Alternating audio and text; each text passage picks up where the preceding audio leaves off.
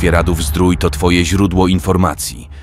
Witam Państwa serdecznie w Stacji Kultury w Świeradowie Zdroju. Ja się nazywam Grzegorz Koczuba i mam przyjemność prowadzić to dzisiejsze spotkanie przedwyborcze Komitetu Wyborczego Wyborców, Wyborców zgodni i konsekwentni z liderem tego komitetu, panem Michałem Brodkowskim, kandydatem na burmistrza miasta oraz z Państwem kandydatami na radnych do Rady Miasta Świeradowie Zdroju. Drodzy Państwo, do, do wyborów już pozostało niewiele dni. Oczywiście 7 kwietnia wszystko w Państwa rękach, ale zanim Państwo pośpieszą do urn, y, chcemy tutaj razem y, z kandydatami wyposażyć Państwa w to, co najważniejsze w dniu głosowania. Nie mówię tu o długopisach, mówię tu o wiedzy. Y, Tę wiedzę będą Państwo bezpośrednio czerpać od kandydatów, bo i Pan kandydat na burmistrza, i tutaj y, Państwo kandydaci na radnych opowiedzą o swoim programie, o swojej wizji Świeradowa na co najmniej najbliższą kadencję. Nasze spotkanie podzielimy na dwie części. Tą część taką prezentacyjną, w której y, Państwo opowiedzą o tym, o czym przed chwilą wspomniałem, a w drugiej części głos oddamy Państwu. Będą Państwo mieli okazję by pytać, by dzielić się uwagami, spostrzeżeniami, postulatami. Mamy dla Państwa dzisiaj, no powiedzmy, dwie godziny, dwie godziny z kawałkiem, jeśli będzie taka potrzeba. Ja by nasze spotkanie przebiegło w takiej miłej, dobrej i konstruktywnej e, atmosferze, żeby z niego coś dobrego głównie dla Państwa wyniknęło. Poproszę Państwa o to, by w pytaniach tutaj do Państwa kandydatów ograniczyć się powiedzmy do, do dwóch pytań, czy do dwóch kwestii, bo gdy naraz się zadaje większą ilość, to czasem później, trudno zapamiętać te wątki i się do nich odnieść. A chcemy dać szansę e, wszystkim Państwu, oczywiście jeśli no, tylu chętnych nie będzie, to nikt Państwa nie będzie tutaj bardzo ograniczał, ale na początku, żeby jakieś takie ramy tej naszej dyskusji, naszego spotkania nakreślić, to poproszę Państwa o właśnie taką, taką mini, mini dyscyplinkę. Jesteśmy w stacji kultury i ta nazwa już ym, troszkę predysponuje do tego, byśmy się zachowali kulturalnie, ym, o czym jestem przekonany. Mam tu na myśli taką kulturę dyskusji. Chodzi o to, żeby się wspierać, żeby dyskutować, żeby to było w miłej i kulturalnej atmosferze. Na tym nam przede wszystkim zależy. Przede wszystkim właśnie po to, żeby Państwo wyposażeni w tę wiedzę, informacje, żeby Państwo mogli rozwiać swoje wątpliwości i e, tak przekonani przez tych kandydatów, przez innych kandydatów mogli 7 kwietnia pójść do urn wyborczych. A teraz już oddaję głos panu Michałowi Krótkowskiemu, który opowie o sobie, o swoim programie i przedstawi kandydatów. Dziękuję Panie Grzegorzu. E, Witam serdecznie Państwa na spotkaniu mojego Komitetu Wyborczego. E, Nazywam się Michał Budkowski i będę kandydował na Urząd Burmistrza Miasta Świeradowa Zdroju. Może na początek kilka słów o sobie, być może ktoś mnie nie zna, dlatego co mogę powiedzieć. Jestem urodzony, urodzonym świeradowianinem, mam 46 lat, e, jestem żonaty, jestem ojcem córeczki cudownej. W Świeradowie mieszkam od zawsze z małymi przerwami związanymi z podróżami zawodowymi. W chwili obecnej pracuję tu na miejscu. Od, od 13 lat jestem radnym.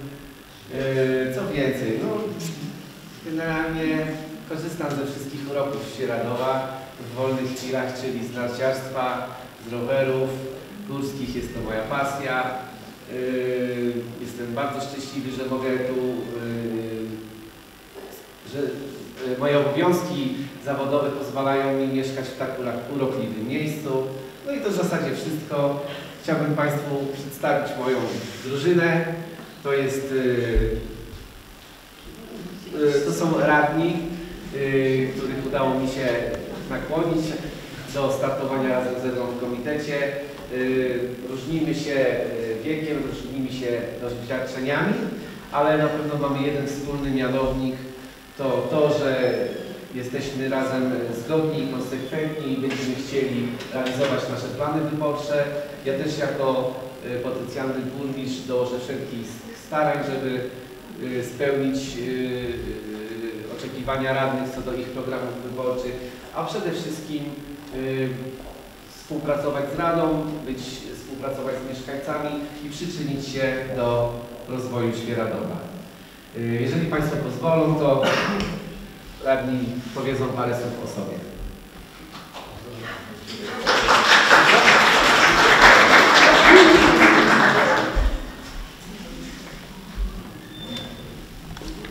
Dzień dobry Państwu. Nazywam się Bliżej Joanna... mikrofon. Dzień dobry Państwu. Nazywam się Joanna Chowańska. skończyłam już 64 lata. Jestem mieszkanką od, od urodzenia. Po, po ukończeniu szkoły średniej... Bliżej mikrofon, bliżej. Po, po, po ukończeniu szkoły średniej wróciłam tutaj do Świeradowa. I za, jak zaczęłam pracę, założyłam rodzinę. No i jestem, jak jestem i pracuję, jestem w dal- dalszym ciągu czynna za- zawodowo. I chcę startować oczywiście z obwodu y, numer 9, to gdzie obejmuje ulicę 11 listopada, Dolna, Boczna, no i Stawowa. No nie, to są właściwie moje ulice, gdzie się wychowałam, gdzie spędziłam swoje dzieciństwo, młodość, tak w tej chwili nawet życie dorosłe. Także no, no i chciałabym Państwu poprosić, żebyście poszli na te wybory i, i zagłosowali na bardzo, na mądrych, na rozsądnych i jak to się mówi, kon- konkretnych ludzi. Także to, to, i to wszystko. Proszę przekazać.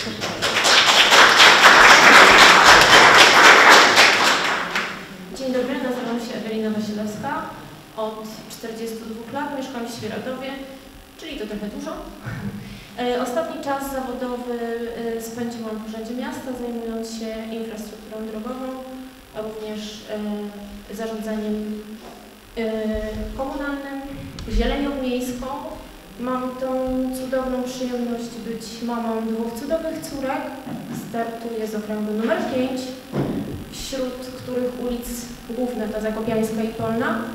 I zachęcam Państwa bardzo serdecznie do wzięcia udziału w wyborach i zagłosowania na wybranego przez siebie kandydata zgodnie z sumieniem, z Państwa oczekiwaniami i z tym wszystkim, co chcielibyście Państwo zmienić w naszym mieście. Dziękuję.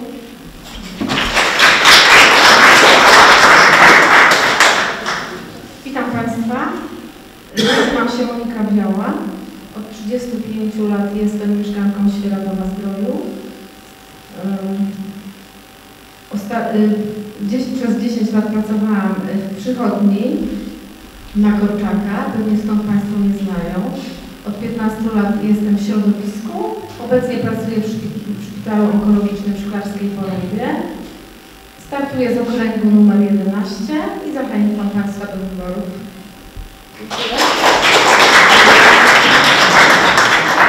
Dzień dobry, nazywam się Krawiec Anita, startuję z okręgu numer 2. Okręg ten obejmuje ulicę Korczaka od 1 do 5, Korczaka od 8 do 10 oraz ulicę Widokową.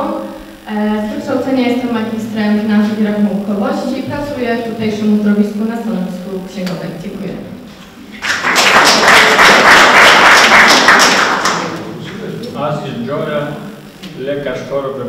Specjalista. Od 22 lat mieszkam w Skaradowie.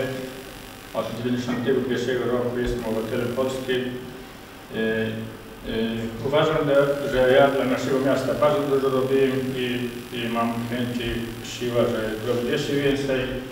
Otworzyłem tą poradnię, który mam i po raz chyba pierwszy yy, otworzyłem sp- poradnie specjalistyczne laryngologiczne, neurologiczne, i chirurgiczne, które wcześniej nie- tych poradni nie było. Niektóre poradnie dalej działają. No i mieszkam w Świeradowie i jeszcze robię dla Świeradowa. Dziękuję.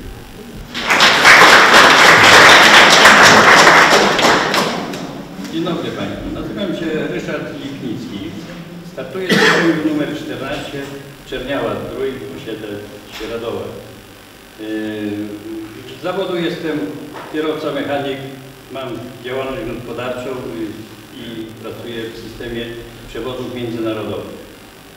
I prosiłbym właśnie mieszkańców, szczególnie Czerniawy, o głos, o wsparcie yy, i swoją działalnością, swoją pracą chcę aktywnie y, służyć dla społeczeństwa światowego. Dziękuję. Dzień dobry. Jestem rodowitym mieszkańcem Świeradowa no, już już długi lat. Startuję z okręgu numer 12, bo to jest przedmieście. Chciałbym coś tam jeszcze dokończyć parę rzeczy. Jestem emerytem, prowadzę dalej działalność gospodarczą. No i na tyle dziękuję.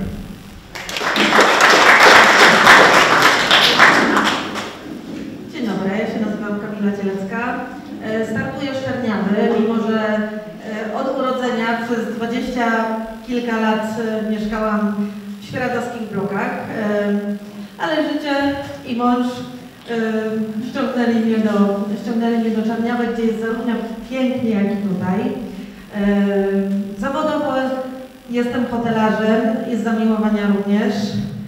Chciałabym e, na pewno wprowadzić e, w gminie dialog między państwem, e, między nami, przyszłymi, przyszłymi radnymi, mam nadzieję, e, oraz, e, oraz burmistrzem. I chcielibyśmy zrobić dla Państwa jeszcze więcej niż tylko dla turystów. I to jest też dla nas priorytet. I mam nadzieję, że głosując 7, sie- 7 kwietnia podejmiecie ten prawidłowy wybór. Dziękuję bardzo.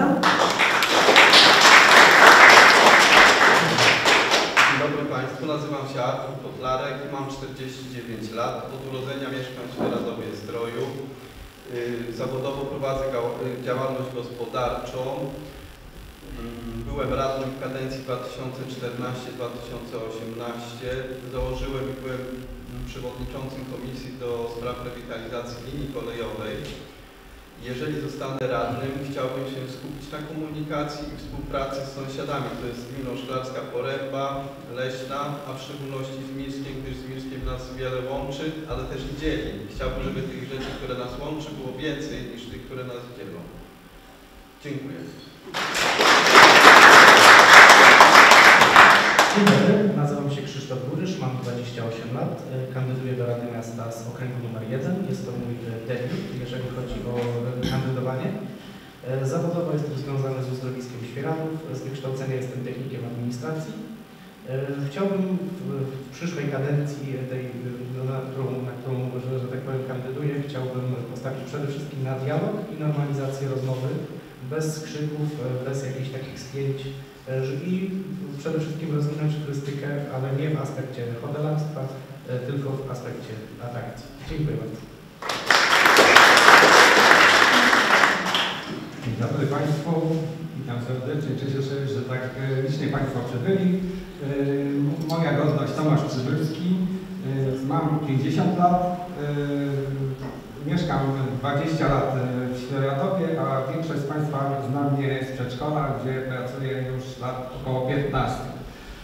E, Jak niektórzy z Państwa wiedzą, w gminie staram się być dodatkowym animatorem kultury, gdyż e, jestem e, członkiem zarządu takiego stowarzyszenia nazywającego się Uzdrowisko Sztuk, które organizuje dodatkowe eventy dla naszych mieszkańców. Myślę, że głównie także będę chciał skupić się w dalszym ciągu właśnie na organizowaniu dodatkowych imprez e, artystyczno-kulturalnych. Dziękuję, to wszystko. To kandydaci w kilku zdaniach o sobie, a teraz oddaję głos panu Michałowi, który opowie o programie Komitetu Wyborczego. Tak jest. Yy, Przede wszystkim, co mogę powiedzieć o moim programie wyborczym? To jest yy, zaledwie aż tylko 14 punktów. 14 punktów yy, takich głównych, które yy, postanowiliśmy razem z moim komitetem przedstawić Państwu. Natomiast od razu mówię, że to nie wyczerpuje całego tematu. To jest jakby trzon naszego programu, natomiast y, dodatkowo każdy z kandydatów y, ma swoje jakby wizje, które chciałby y, zrealizować y, w trakcie pełnienia swojego y, y, urzędu mandatu radnego. Tak więc y, myślę, że jeżeli będzie taka też możliwość, to w ramach dyskusji pewne kwestie dodatkowe wypłyną. Natomiast Co do zasady, przedstawię Państwu 14 punktów programu. Yy, Później przejdziemy do części związanej z zadawaniem pytań. Jeżeli na przykład będą jakieś pytania odnośnie punktu, który zainteresuje Państwa, to ja chętnie wrócę się do tego momentu i podyskutujemy. Oczywiście, jeżeli będzie jakiś temat, który dotyczy bezpośrednio któregoś z radnych, to też zachęcam. U nas jest demokracja. A więc yy, na wstępie. Pierwszy punkt y, naszego programu to y, problem, problem, to y, problem mieszkalnictwa, który dotyczy naszej gminy y, od dłuższego czasu. Jest to, y, jest to kwestia, z którą każde poprzednie kadencje borykało się dość intensywnie. Było wiele pomysłów, było wiele prób. Y, Ostatecznie y, no niewiele się udało zrobić y, i na pewno będziemy próbowali to zmienić. Przede wszystkim, ponieważ będzie, jest wiele programów wspierających budownictwo mieszkalne, natomiast ja na samym początku swoje założenia oparłem na społecznej inicjatywie mieszkaniowej. Dlaczego? Y, Ano dlatego, że y, ten program póki co w tym momencie jest w- trakcie rea- realizowania. Niektóre gminy realizują go skutecznie i była możliwość podjęcia e, uchwały i wejścia do tego progra- e, pro- e, programu e, podczas tej kadencji. E, Nie udało się to, niemniej jednak uważam, że z racji tego, że już jakieś informacje na ten temat posiadamy oraz, że ten program funkcjonuje, myślę, że warto do tego e, tematu wrócić. Tym bardziej, że mamy pewne narzędzia już e, przygotowane. Przede wszystkim e, dysponujemy działkami, na których moglibyśmy wybudować te budynki komunalne i to jest raz. Dwa, posiadamy pozwolenie na budowę, znaczy pozwolenie, przepraszam, po, posiadamy projekt tych budynków, to jest dwa. Pozwolenie na budowę wygasło, y, nie podjęliśmy tej decyzji, ale to nie jest problem, ono jest jak najbardziej do odtworzenia. Tak więc to są trzy rzeczy, które y, sprzyjają do podejścia do tego programu. Oczywiście ten program nie rozwiąże naszych wszystkich problemów z mieszkalnictwem. Po tylu latach niepodejmowania żadnych y, działań, no niestety mamy bardzo potężne zaległości w tym temacie. Y, ale ważne jest, żeby wykonać pierwszy krok, żeby po prostu y, ruszyć z tym tematem. On nie załatwia wszystkich problemów, on też oczywiście nie będzie dotyczył każdego, y, wszystkich mieszkańców. Tak? Ten program na, póki co jest zorientowany na osoby młode, które pracują na osoby, które, które pracują, które są w stanie opłacać czynsz, ale na przykład nie dysponują możliwością uzyskania kredytu mieszkaniowego. I ten program ma pomóc takim ludziom, y, takim rodzinom w uzyskaniu, y, uzyskaniu swojego własnego M. Tam jest możliwość, y, są dwie, dwie możliwości w tym programie. Młoda para może mieszkać, znaczy nie tylko młoda para, bo tak naprawdę każdy może zamieszkać w takim mieszkaniu, w tym wariancie, ale podejmuje decyzję, czy on będzie opierał się głównie na najmie, albo wybierze wariant związany z najmem, późniejszą możliwością, y, możliwością przejścia na własność tego mieszkania. I to w zasadzie jest y, tyle w tym temacie. Jeżeli, będę, jeżeli będzie potrzeba, to wrócimy do tego punktu, coś więcej Państwu opowiem.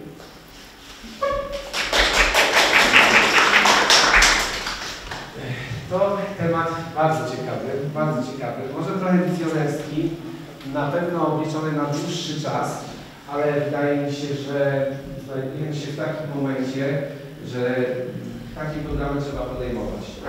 Jak wszyscy Państwo wiecie, mm, coraz częściej kładziony jest nacisk na eliminowanie różnych źródeł energii, które związane są z dużą emisyjnością, y, na przykład węgiel. Y, Oczywiście to nie jest tak, że za chwilę zostaniemy poz- pozbawieni y, tych źródeł ogrzewania, ale niemniej jednak już w 2037 roku pewne regulacje wejdą. One oczywiście nie zabronią nam korzystania ze wszystkiego, natomiast podrożą, y, przyczynią się do wzrostu kosztów ogrzewania. I mm, dlaczego ta geotermia? Ponieważ y, wiele gmin sąsiednich, na przykład Cieplice już zaczęły dokonywać y, testowe odwierty pod kątem przestawienia się na y, takie zasilanie swoich gmin, swoich obiektów publicznych. To jest bardzo istotny, to jest bardzo istotny problem, warto się nad tym pochylić. Y, Tym bardziej, że w chwili obecnej środki, które będziemy, które już zaczęły płynąć z Krajowego Planu Odbudowy, one w bardzo dużej mierze są nastawione na odnawialne źródła energii. Tam będzie szereg pieniędzy, które będą przeznaczone, które będą przeznaczone na termomodernizację budynków, a także wsparcie właśnie takich ic- inicjatyw, które zresztą największe mówić nawet o tym, że bardzo warto inwestować w czystą energię cieplną, kiedy mieszkamy w uzdrowisku. Y, Mało tego, to jest też opcja odciążenia naszego budżetu, bo jeżeli uda nam się, to może być dopiero nawet w przyszłej kadencji, ale warto z tym ruszyć, ponieważ patrząc na zwyżkę cen energii, my mamy wiele budynków jako gmina, które są dużym obciążeniem finansowym pod kątem ogrzewania. Sam budynek szkoły, ogrzewanie tego pochłania masę pieniędzy. Ale myślę, że w miarę rozwoju tego programu również podmioty prywatne chciałyby się podłączyć do, do, do, tych, y, do tych instalacji, ponieważ będzie to zdecydowanie mniejszy koszt. Y, Dysponujemy, co jeszcze mogę powiedzieć, Wie- wiele lat temu były y, prowadzone badania nad możliwością y, stosowania y, tego rodzaju energii u nas. Prowadziła to Politechnika Wrocławska.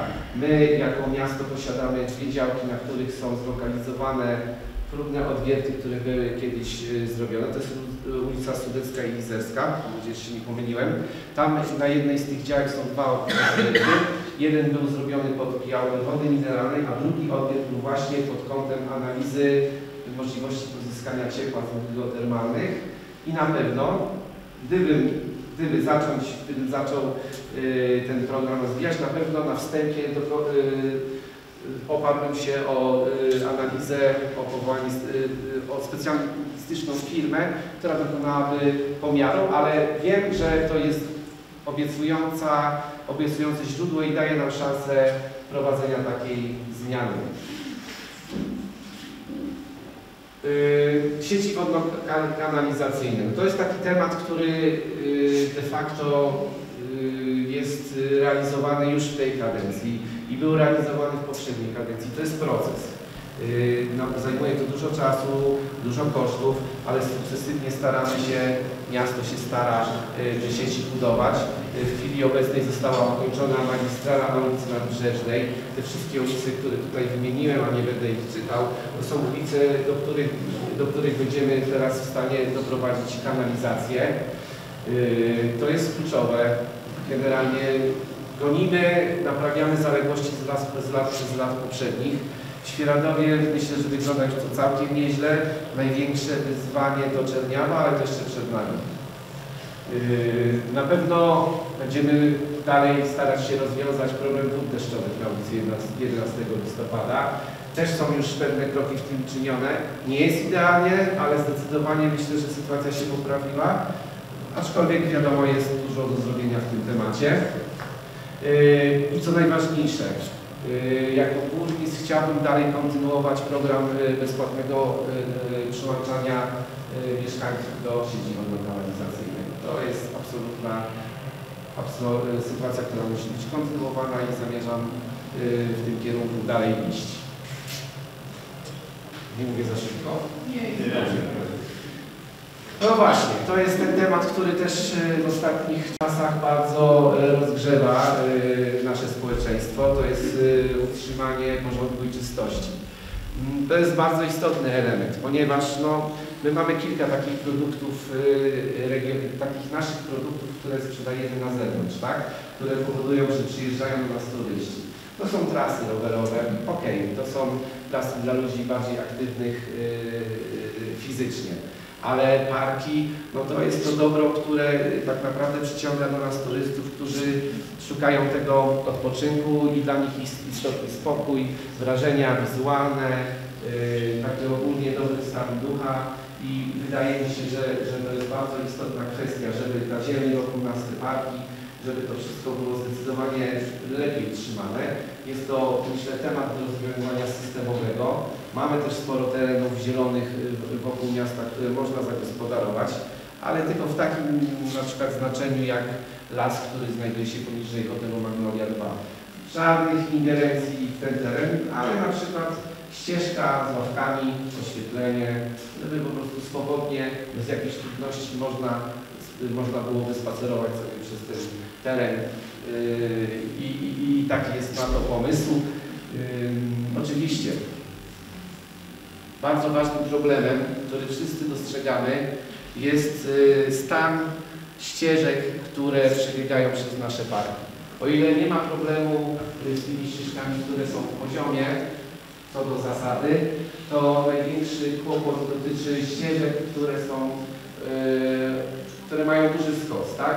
Technologia, która dotychczas była zastosowana w budowie tych ścieżek powoduje, że przy każdym większym opadzie deszczów te wszystkie kamienki, ten cały żwirek zostaje wysypany i mamy bałagan. Zresztą każdy, kto się parking widzi, jak to wygląda.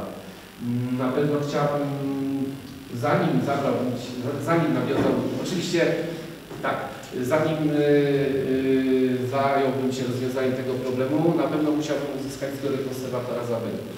On tutaj jest y, e- ewidentnie osobą ym, jakby sprawczą, jeżeli chodzi o podjęcie ostatecznej decyzji.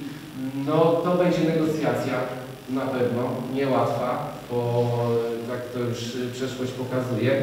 Niemniej jednak chciałbym poruszyć ten temat i tutaj mm, w tej kwestii na pewno y, szukałbym y, wsparcia u ekspertów. Na pewno konsultowałbym się z różnymi organizacjami. Nawet tymi lokalnymi, które w chwili obecnej jakby są po drugiej stronie barykady, ale jak się kurz opadnie, tam jest wiele fajnych pomysłów, które warto by wykorzystać, a co do zasady, y, jakby całą ideą kandy, mojego kandydowania jest to, żeby jednak współpracować, a nie dzielić i próbować połączyć różne y, sprzeczne interesy i jakby łagodzić niepotrzebne emocje, tylko jak y, zacytuję Panią Ulę, bo to był bardzo dobry cytat, walczy z problemem. To było coś, co kiedyś usłyszałem na sesji i bardzo sobie to zapamiętałem. Najważniejsze jest razem wspólnie zorientować się na zwalczenie pewnego problemu. Oczywiście kwestia y, drzewostanu, trzymania zieleni, tutaj również konsultacje. Nie jestem ogrodnikiem, y, mogę ewentualnie dostrzegać pewne rzeczy duszą, ciałem, jak oglądam, jak, jak y, pozytywnie ta zieleń jest zorganizowana, natomiast to nie jest zakres mojej wiedzy i tu na pewno nie będę podejmował żadnych autorytatywnych decyzji. O, to też jest ważny punkt. On jest dość krótki, ponieważ to jest taki punkt, który o ile to są w zasadzie dwa zdania, ale te zdania mają bardzo, niosą ze sobą bardzo duży emocjonalny podkład. To jest y, również trochę odnosi się do porządku, ale bardziej związanego z drogami gminnymi, z utrzymaniem, z tym wszystkim, co się dzieje przy, przy, przy budowach. No jest to y, rzecz, która często jest y, przez mieszkańców przedstawiana y, i sygnalizowana zarówno jakby w rozmowach takich między nami na ulicy, również podczas sesji Rady Miasta. I to jest temat, który również, y, jeżeli chcemy ten, y, dbać o ten y, nasz porządek, żeby ta, ten charakter uzdrowiska naszego był taki naprawdę na wysokim poziomie, no to to jest temat, który musimy rozwiązać. Na pewno będą pytania w tym temacie, dlatego ja przejdę dalej do kolejnego punktu. Wyciąg narciarski. Wyciąg narciarski. To jest też dość długa historia prób dokonania jego rewitalizacji. Bardzo trudny temat. Yy, Należę do tego, tej grupy osób, którzy uważają, że jednak te wyciągi stare powinny zostać zre- zrewitalizowane. Wszyscy po prostu pamiętają, jak to funkcjonowało. Ja tam też y, stawiałem swoje pierwsze kroki na nartach. To była, y, to, to była kiedyś chluba y, świeradowa. Oczywiście to były inne czasy, inne były wymagania. Y, to były odczyki, wiadomo, y, jakby nikt jeszcze nie słyszał, że tam gdzieś funkcjonują jakieś kanapy albo go- gondole, ale y, był to bardzo y, fajny kompleks, który funkcjonował i większość y, z nas, którzy sportem y, narciarskim, sportem narciarskim mają do czynienia, stawiali tam swoje pierwsze kroki. Y, Przy tym wyciągu troszkę już się podziało, tak? Powstała wieża. Myślę, że jest szansa, żeby ta inwestycja dotycząca Żabiego Parku również miała miejsce. Natomiast jest temat bardzo złożony i wywołuje wiele emocji, ponieważ, y, jak wiadomo, y, w chwili obecnej dysponujemy jakby planem i możliwością rozbudowy tych wyciągów, ale tam jest czterech właścicieli. Czterech różnych właścicieli, każdy o tym wie.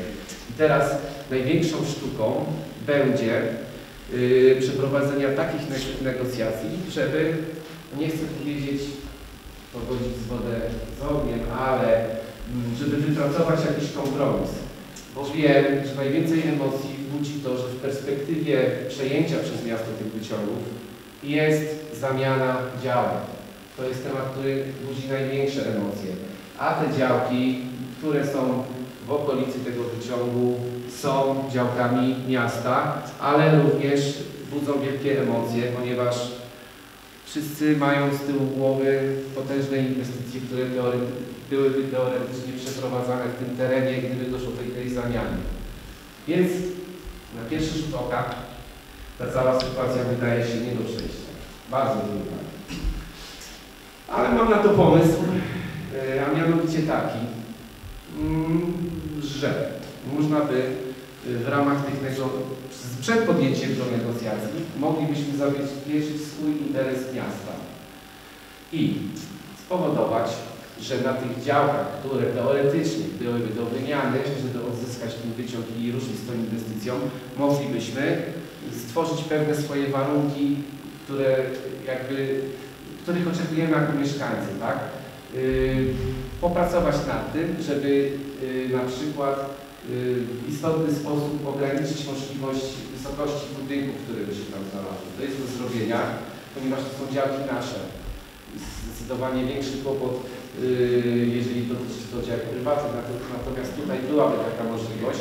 Oczywiście też nie można wylać dziecka z kąpielą i tak ograniczyć wszelkich działań na tym, że one zupełnie przestaną być atrakcyjne. Tak czy siak to są nasze, to jest nasze, to jest troszkę też taki nasz klejnot w koronie i na pewno trzeba się z nim bardzo obchodzić y, delikatnie, przeprowadzić y, dużo konsultacji, wymyślić sposób, jak zabezpieczyć to, na czym jak nam najbardziej zależy, ale zdecydowanie nie ma innej opcji, przynajmniej ja nie widzę możliwości póki co y, rewitalizacji tego wyciągu, jeżeli nie unormujemy tego całego stosunku własności w tym obszarze. Ale myślę, że to jest do zrobienia. Tak, cyklostrada Dolnośląska. To też był y, projekt, który nie doszedł do skutku. Niemniej jednak bardzo chciałbym, aby on ponownie był realizowany, ponieważ y, po pierwsze wepnie nas całą tą sieć tras rowerowych, y, które powstają na Dolnym Śląsku. Po drugie mamy pociąg, który przyjeżdża i też rowerzyści mogą nim spokojnie tutaj dojechać i jakby wpiąć się w tą ścieżkę. To są dodatkowe pieniądze, to jest bardzo istotne. E, A te pieniądze są nam potrzebne, żebyśmy zadbali o tą kolejną rzecz, z której słynie Świeradów. To nie tylko parki, tak, które są bardzo ważne, nie tylko góry, nie tylko zieleń. Mamy te trasy rowerowe, rowerowe.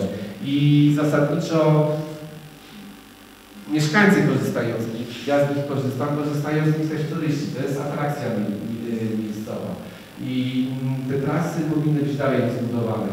Moim marzeniem jest pociągnięcie takiego projektu, który gdzieś tam zaginął y, w szufladach, a był przedstawiany w przyszłości. To jest poprowadzenie ścieżki rowerowej Single Track okalającej całą naszą tutaj, y, całe nasze miasto.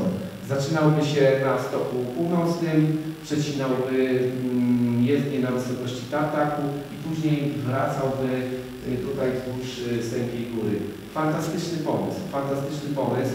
Oczywiście do zrealizowania z lokalnym środowiskiem rowerzystów, bo mamy naprawdę ludzi doświadczonych, którzy mają bardzo dużo do powiedzenia. To są ludzie aktywni. Ja sobie tam trochę jeżdżę na rowerze, ale generalnie na wy- wyznaczaniu tras to y, nie chciałbym zabierać tym y, ostatecznego głosu, dlatego tutaj na pewno na, chciałbym liczyć na wsparcie, jeżeli ten projekt miałby dojść do skutku. Mm, Ta ścieżka okalająca miasta wokół to jest w ogóle fantastyczny pomysł pod kątem y, tych wszystkich obiektów, pensjonatów, prywatnych kwater, bo w zasadzie y, taki turysta z rowerem, który gdzieś tutaj sobie mieszka, mógłby spokojnie wykonać parę kroków, parę na dom, pokręcić trochę i wbić się w tą ścieżkę i sobie ruszyć w kierunku Czechu, Czech albo objechać cały Świeradów. To jest naprawdę fa- fajna rzecz myślę, że warto byłoby to rozwijać. Yy, Bolączka też jest taka, że nie do końca wypracowaliśmy przez te ostatnie lata system dbania o te ścieżki, tak? Były czyny społeczne, sprzątanie, ale tak naprawdę nie do końca to działa. To mogłoby zdecydowanie lepiej działać. To działa w innych gminach, w innych miastach, więc powinniśmy skorzystać z tego, doświadczeń i wypracować sobie sposób. Mm, Przypadkiem mm, widziałem w Szklarskiej Porębie, czyli oczywiście to już u nas funkcjonuje na rantrakach, że są takie odcinki tras rowerowych okalających tam Szklarską Porębę, gdzie przy każdej, przy kilku odcinkach jest na przykład tabliczka sponsora, że ten odcinek sponsoruje tak, hotel, tak, tak. To jest fajny pomysł, bo z jednej strony yy, przedsiębiorca stamtąd promuje siebie, a z drugiej strony jakby jest szansa, żeby dokładał się do tego dobra wspólnego, tak? Bo y, tak to traktuje te, te, te, te ścieżki. Okay. Baseny miejskie w Czerniawie. To co prawda dotyczy w pierwszych y, y, y, słowach tego zdania Czerniawy, ale tak naprawdę dotyczy nas wszystkich. Bo to też jest jakby zakończenie pewnego, pewnej długiej historii, tak? Basen miejski był w Świeradowie. Yy, Regularnie widuję stare fotografie z tamtych czasów, sam często się z nim kąpałem. No były takie czasy, że przyjęła to spółka zasada, miała coś tam budować, ludzie to zburzyli i tak to się skończyło. Później się sądziliśmy, później nam to oddali, później żeśmy to znowu sprzedali. Tam zaplanowany jest jakiś obiekt, yy, yy, na pewno jest zaplanowany obiekt hotelowy, hotelowy tak to nawet z tego co wiem. Natomiast yy, jakby brak basenu dalej nam wspiera miejskiego. I to jest temat, który zasadniczo już trwa, bo on y, jakby zaczął się w poprzedniej kadencji, ale warto jest dopilnować, żeby doszedł do skutków, Y, bo y, potrzebujemy tego basenu.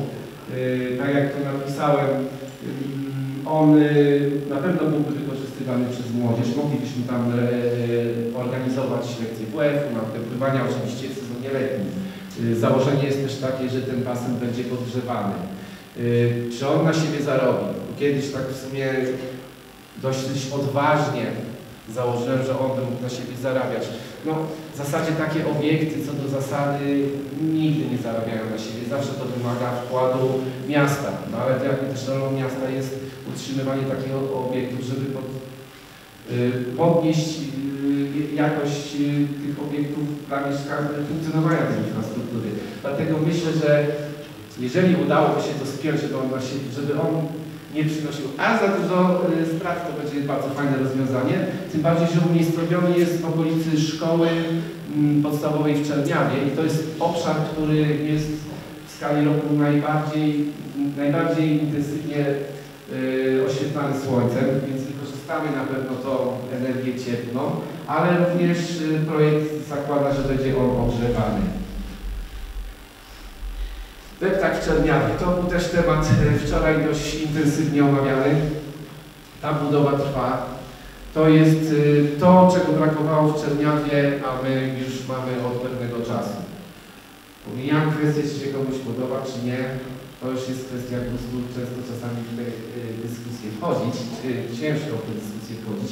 Natomiast sama idea o ptaku w mieście uzdrowiskowym to jest rzecz no, jakby bardzo ważna, tak? I myślę, że Czerniawa w, momencie, kiedy ten deptak zostanie ukończony, mm, zmieni swój charakter, ale w kierunku bardziej pozytywnym, bo taki deptak jest impulsem dla lokalnej przedsiębiorczości. Tu też na początku, kiedy nasz świeradowski deptak został wybudowany, to myślę, że nie chciałbym przesadzić, ale przynajmniej rok, dwa tam absolutnie nic się nie działo. Ten impuls, zanim zaiskrzył, no to potrzebowało trochę czasu, ale nagle zaczęły powstawać restauracje, zaczęły powstawać ogródki piwne. To jest taka rzecz, która jakby toczy, yy, napędza to życie uzdrowiskowe, tak? Ludzie spacerujący się ten gwar, yy, myślę, że to jest istotne i jest realnie bardzo duża szansa, że w Czerniawie, kiedy zostanie otwarty, to, to w perspektywie czasu spełni podobne funkcje jak deptak świeradowski. Tak, y, sala widowiskowo-sportowa w Czerniawie, to też bardzo istotny obiekt, potrzebny tam. Tam y, w zasadzie też jego losy na włosku wisiały, ale udało nam się go przepro, y, y, przeprowadzić trochę do przodu. W dużej mierze dzięki pomocy pani dyrektor Gettner. Y, Będzie to bardzo duży projekt. Y, Na pewno będziemy starać się pozyskać na niego środki z KPO, ale jak y, historia pokazuje, Urząd Miasta dość bardzo skutecznie pozyskuje zewnętrzne źródła finansowania. Tak więc jak najbardziej jestem tutaj y, napełniony dużym optymizmem.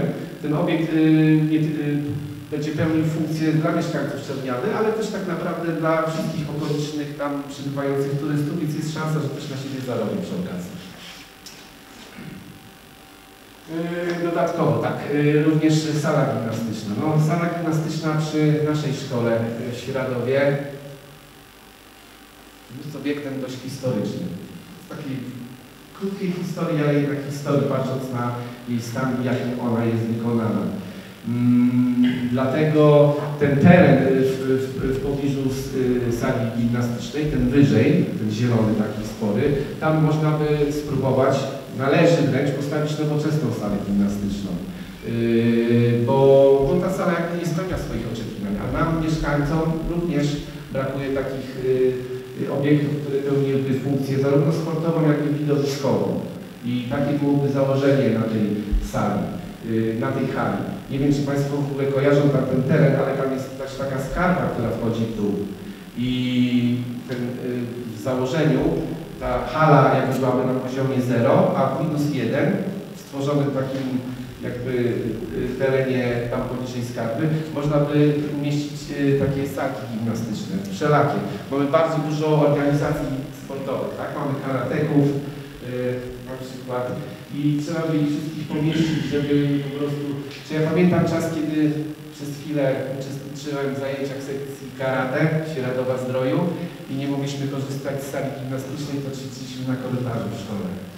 Jest wiele takich y, organizacji sportowych, które mimo wszystko powinny mieć swoje miejsce i myślę, że to byłoby, byłoby coś y, w sam raz. Tak, też bardzo istotna rzecz. No, chcemy być zdrowym i czystym uzdrowiskiem. Ten program się rozpoczął, ale nie został zrealizowany do końca. Więc zdecydowanie yy, będę szukał środków, znajdę środki, aby dokończyć ten program i wymienić pozostałe yy, piece, które były yy, zgłoszone do wymiany. No bo jest to rzecz jakby absolutna i tutaj w ogóle nie ma co nad tym dyskutować.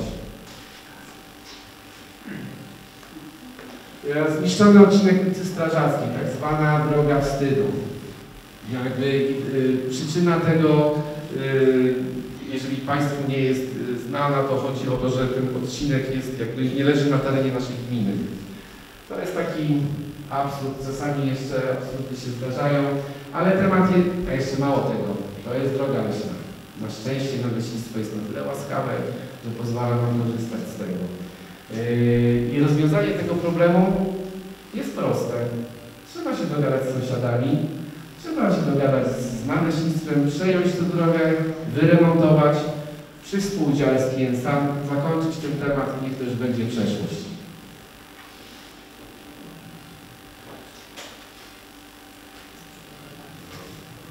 Dobrze, to miałem w ogóle więcej w tym odcinku. Tak, akt, yy, planistyczne dokumenty. Yy, Generalnie sytuacja wygląda następująco. Yy, yy, weszło nowe prawo zobowiązujące wszystkie gminy yy, w Polsce do sporządzenia planów ogólnych. Yy, Jest to obowiązek, to nie jest jakby rzecz, którą trzeba zrobić albo nie, ale będzie wymagana. Gminy ruszają z tym programem i jest to rzecz, którą też będziemy musieli zrealizować. I to tak naprawdę jest rozwiązanie na tą chwilę problemu tak zwanej deweloperki. Mamy w tym, obe- w tym, w tym momencie mamy mm, jeszcze nie, przepisy w planie miejscowym, które nie są precyzyjne. ta nieprecyzyjność ich spowodowała, spowodowała, że zamiast zabudowy trzykondykacyjnej mamy zabudowę pięciokondykacyjną. A może i więcej, no to zależy jak tam liczyć. Generalnie chodzi o to, że te, te przepisy były nieprecyzyjne i mamy to, co mamy. Teraz y, niby jest czas, bo to jest tam, y, czyli nie chcę mówić do, do końca którego roku musimy to zrobić, ale generalnie bardzo ważnym jest, żeby przystąpić do całego procesu związanego z uchwalaniem tego planu ogólnego. I teraz, na pewno konsultacje społeczne, na pewno eksperci, ale tak naprawdę kluczowym y, po- pomysłem, żeby, y, który powinien być zainicjowany, zanim w ogóle podejmiemy te, te ruchy, a musimy je podjąć niezwłocznie, to ustalmy, co chcemy osiągnąć wprowadzając ten plan. Czyli powinniśmy się skupić, żeby przepisy, które tam będą, dotyczące planu miejscowego były precyzyjne. Były bardzo precyzyjne, bo zrozumiałym jest, że jeżeli jakakolwiek luka y, jest, y, y, zostanie stworzona, coś zostanie pominięte, to później mamy takie sytuacje, jakie się dzieją obecnie. Myślę, że ten temat też będzie dzisiaj poruszany, ale to jakby główną przyczyną tego jest to, że ten plan miejscowy był nieprecyzyjny. Też jakby nie jestem ekspertem od tego tematu, rozmawiam z ludźmi, którzy na tym się znają i zawodowo jakby rejonie operują, ale to jest y, rzecz, którą musimy zrobić wspólnie, bo, bo nie ma innej drogi, tak? Jeżeli chcemy uchronić yy, ten chara- yy, uchronić ten krajobraz, nas, żeby już takich budynków więcej powstawało, to jest rzecz, która musi być realizowana. Ktokolwiek, wy, ktokolwiek wygra wybory, niezależnie. Wydaje mi się, że to jest najważniejszy punkt dla przyszłego burmistrza i dla przyszłej rady, żeby od razu ruszyć z tym tematem. To jest troszkę ziemia nieznana, bo nawet eksperci mówią, że jeszcze do końca ten temat nie jest rozeznany, ponieważ to się dopiero zaczęło dziać. Gminy rozpoczęły ten proces związany z uchwalaniem planu ogólnego, ale nikt jeszcze nie jest na końcówce. Niemniej jednak są eksperci, proces się toczy, jest możliwość e, uzyskiwania informacji, doświadczeń i naprawdę może to nie jest rzecz taka spektakularna, tak, jak jakaś budowa, czy nie wiem, coś co przykuwa wzrok, bo dzieje się to głównie na papierze, ale proszę Państwa, to, że to dzieje się na papierze, na stole planistycznym, to wcale nie umniejsza tego, że to jest bardzo, yy, to jest bardzo ważna rzecz do zrealizowania. Bardzo dziękuję za uwagę. Yy, Generalnie jakoś zmodyfikowałem. Teraz chciałbym przejść do pytań, tak więc jeżeli będą jakieś pytania, to postaram się odpowiedzieć. Jeżeli nie będę miał wiedzy, to postaram się odpowiedzieć później.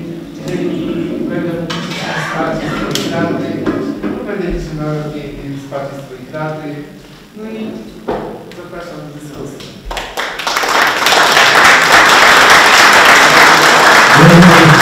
Zarys programu,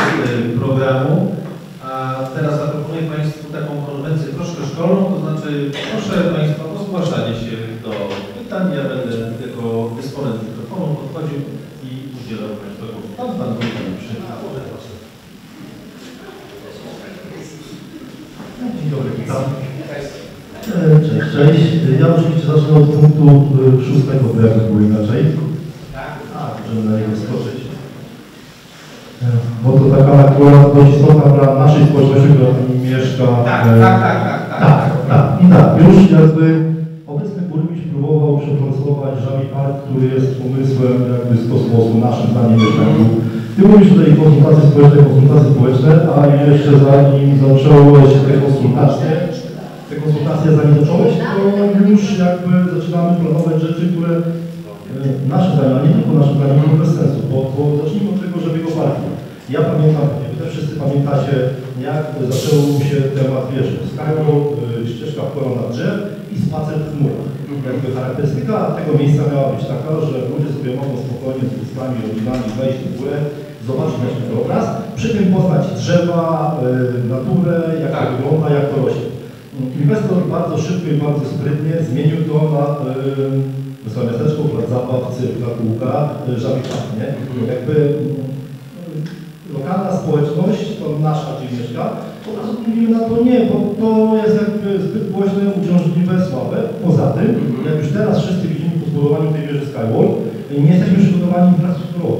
Tak? Yy, Nasz turysta, który przychodzi na tą wieżę, yy, śmieci, bo nie ma co zrobić ze śmiećmi, yy, sika wszędzie yy, i robi inne rzeczy, bo nie ma gdzie tego załatwić. I to jakby ciężko też tego turystę, po prostu my jako miasto nie zadbaliśmy o, o to, żeby tak? Szczycimy się tą wieżą, ale zapominamy o tych problemach i, i, i myślę, że, że jakby trzeba zacząć odtąd i, i, i ewentualnie gdyby, gdyby robić coś dalej, to właśnie coś, co jest związane z naturą, z uzdrowiskiem, z ciszą, spokojem, z charakterem, który nasze miasto e, ma, a nie robić e, jakby wesołe miasteczka czy plac. To jest pierwsza rzecz. E, A druga rzecz odnośnie pociągów. Rozmawialiśmy zresztą my też na ten temat Tak, tak, tak, tak. Pewnie wszyscy Państwo wiecie, jak nie wiecie, no to jakby można się dowiedzieć u źródła, czyli nadleśnictwa, mm, nazwa Światowiec została tylko laską. Część Światowca jest nie do odzyskania. Nie ma takiej możliwości. Proszę spytać nadleśniczego, proszę spytać Bertosiu. Temat już przepadł, jest zamknięty. E, Czyli e, my rozmawiamy tylko o tym, e, co jest do końca tak zwanej dwójki. Tak. Czyli poniżej granicy śniegu. Tak. No niestety, żyjemy na takiej wysokości i w takim klimacie, gdzie śnieg zaczyna się powyżej dwójki. Gdybyśmy siedli o Światowiec, ja też byłbym na tak, na pewno, bo wtedy to miałoby jakiś sens. E, Mówię to naszemu obecnemu burmistrzowi, powiem to Tobie, powiem to Państwu. Mm, Gdybym miał 200 milionów na koncie różnych, y, mimo że kocham to miejsce, mimo że tam pracowałem na każdym z tych wyciągów, tak jak uczyłem się jeździć, to nie jest warte za zainwestowania tam pieniędzy, bo nie mamy takich warunków klimatycznych i z tym nie wygramy. Ja zawodowo zajmuję się dyscyplinami sportowymi zimowymi, jeżdżę po całym świecie y, z psami i startuję w takich kurortach jak y, ym, same narciarskie stacje e, i wszystkie stacje narciarskie, które w tych czasach mają jakiś w ogóle sens bycia, są zlokalizowane na wysokościach powyżej 1600 metrów nad poziomem morza. Nam brakuje tylko 1000 jeszcze. No nie da się tego usypać i dlatego jakby ten wyciąg, już y, wszystko nie ma sensu. To jest jakby brnięcie w nicość i jakby znalezienie inwestora to będzie cud. Y, Nie sądzę, żeby się znalazł. Y, Wydane pieniądze, które zostały wydane, poszły w błoto i, i szkoda chyba się zajmować nimi, wydawać to dalej, bo to jakby no, trzeba spojrzeć prawdzie w oczy i, i, i może myśleć o czymś innym, tak? Może ten pierwszy wyciąg kamieniec zrobić jakiś y, jem, tak jak na Malcie, żeby to było, żeby to mogło funkcjonować, no bo ja tam mieszkam. Mieszkamy tam jako osadnicy od 46 roku, trenuję z psami sporty zimowe i po prostu Najnormalniej w świecie nie ma śniegu.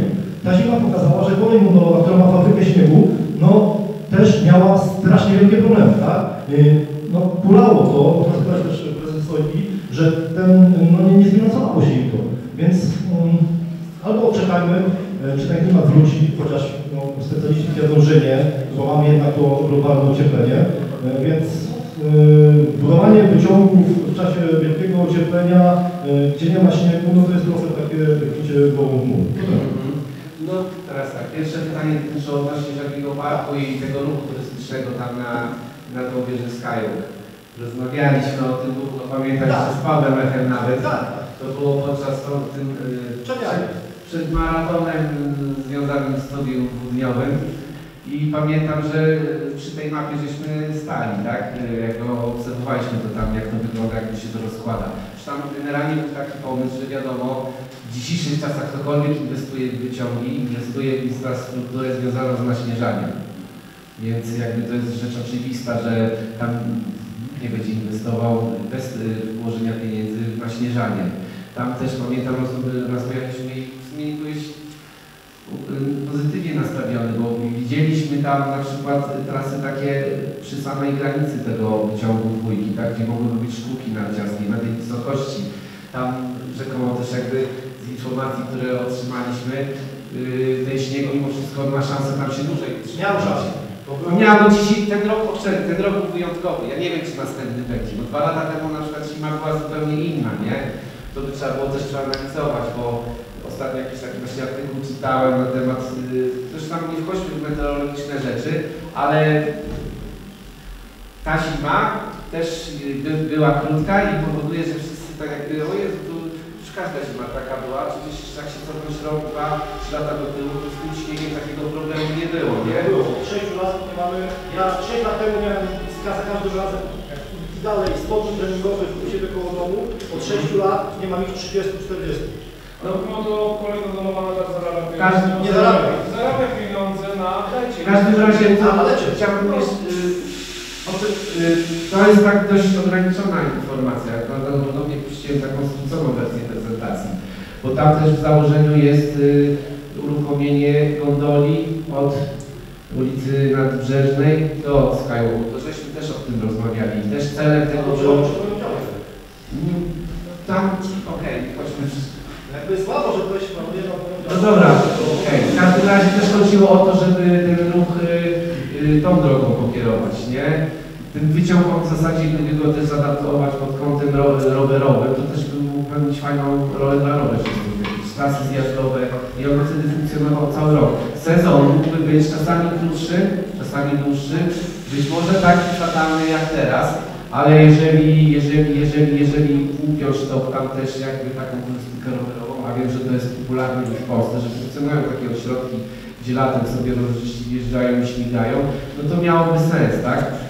Lepiej właśnie pójść turystykę rowerową niż na ciasto. bo- no tak, tak, ale tu mamy połączenie dwóch rzeczy w jednym, nie? Taka jest koncepcja.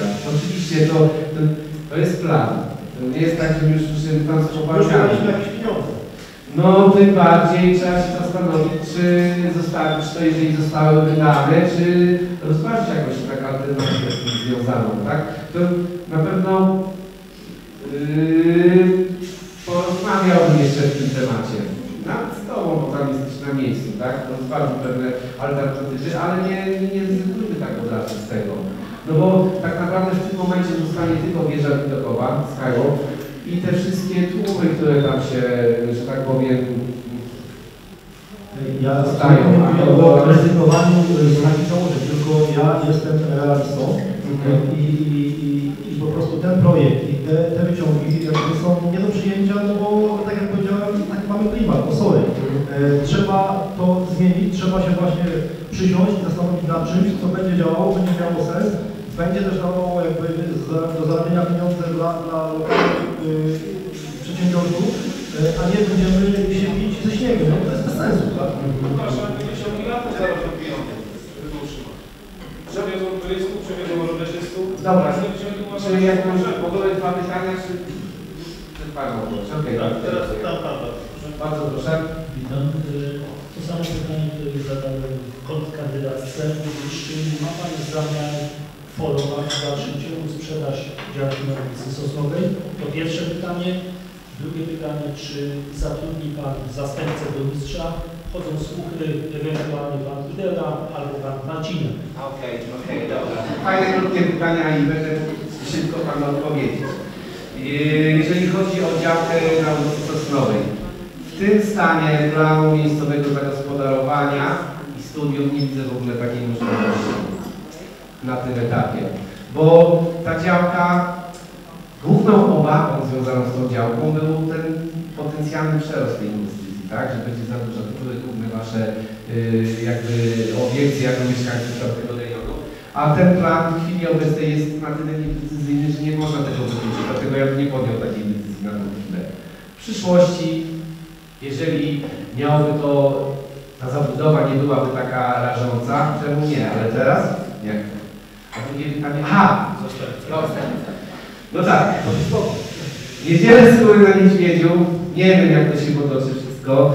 Jeżeli ktoś startuje w wyborach, no to w zasadzie zakłada, że wygra. Taka jest jakby filozofia i taka psychologia powinna każdemu kandydatowi towarzyszyć. Natomiast nie, to jest w ogóle jeszcze dla mnie poza zasięgiem percepcyjnym taka decyzja do podjęcia, naprawdę. Ale na pewno żadna z tych osób nie byłaby. To tyle mogę potwierdzić na 100%, absolutnie. Proszę bardzo.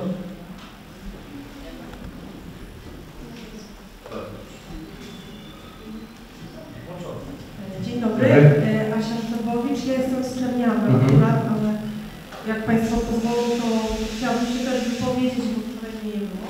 Proszę. Ja mam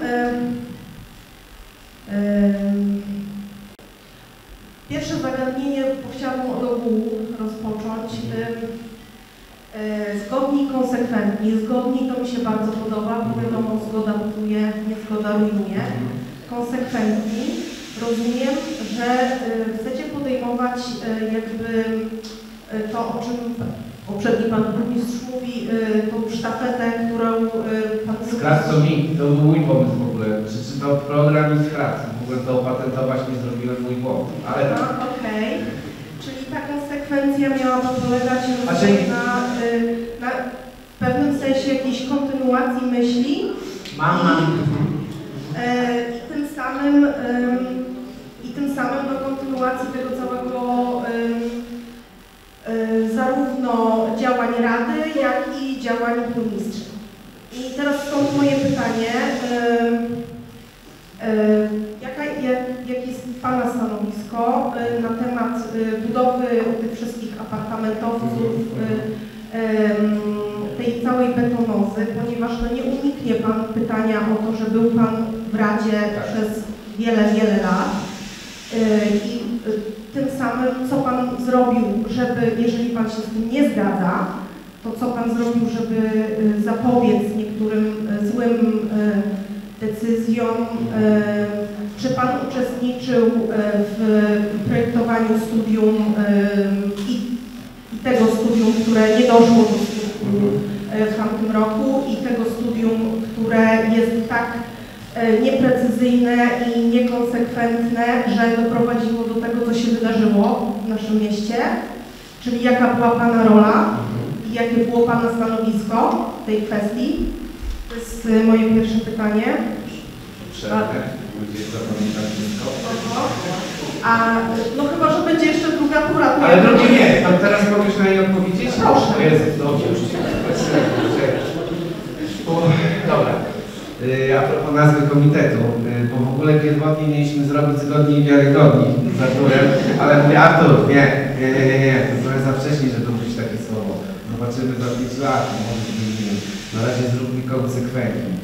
Jak ja rozumiem konsekwencje, tak, konsekwentnie, konsekwentnie głównie dotyczyło pewnych rozpoczętych rzeczy. Wcześniej, czyli tak wspominałem, projekt na hale, czy te baseny, tak, bo to jest rzecz, która zaczęła się jakby w poprzedniej kadencji. To jest coś jakby dotyczyło tego, tutaj mamy tego pociągu, tak de facto do 2013 roku byłem radnym i podejmowaliśmy już pewne decyzje, które zajęły 10 lat i dlatego siedzimy tutaj i ten pociąg nas, nam tu yy, hałasuje, ale tak pozytywnie mam nadzieję.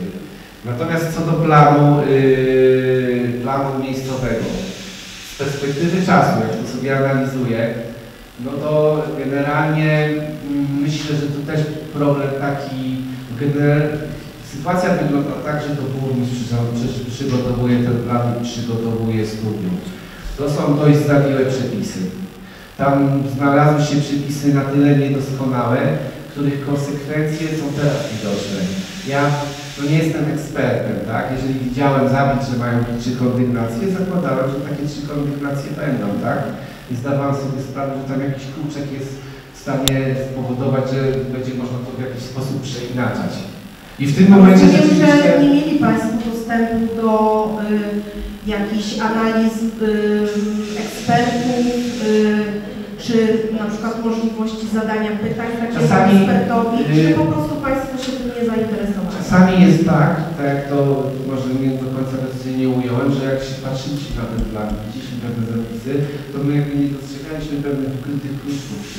Nie spodziewaliśmy się, że tam są, są jakieś wytrychy. To wytrawny planista jest w stanie wychwycić, a jeszcze jak jest architekt, który jest po drugiej stronie, to on wyciąga te rzeczy. I tu muszę się przyznać, że tego zabrakło, dlatego zdecydowanie przy tym, przy tym, do czego musimy teraz przystąpić, to musi być zupełnie inaczej przeprowadzone. Zdecydowanie. Zresztą to jakby wynika z samego faktu, że to będzie troszkę zupełnie inna konstrukcja i nawet zakładam, że urzędnicy miejscy, którzy będą przy tym pracować, też będą musieli się troszkę podszkolić, bo to jest istotna zmiana. Ale no, to co powiedziałem tam w poprzedniej wypowiedzi, że bardzo ważne by było, żeby już od razu na starcie pewne założenia zrobić. Jeżeli robimy ten plan ogólny, to przed podjęciem kroków yy, z całą tą procedurą już zakładamy, żeby trzymać to, co mamy założone. Wie Pan, bo co mnie niepokoi, bo właśnie e, taka, taki rodzaj e, jakby, hmm, nie chcę tego brzydko nazwać, ale może takiej ignorancji, tak, e, niechcenia dowiedzenia się jakie są fakty jak może wpłynąć studium na to, co może się wydarzyć w naszym mieście, czego no, nie jesteśmy w stanie już cofnąć, jak wiemy, no to trochę jest to niepokojące, że po prostu no, Pan był jakby też częścią tej, tej filozofii ignorancji i zamykania oczu troszeczkę. Y, Może jak zamknę oczy, to mnie to nie dotyczy.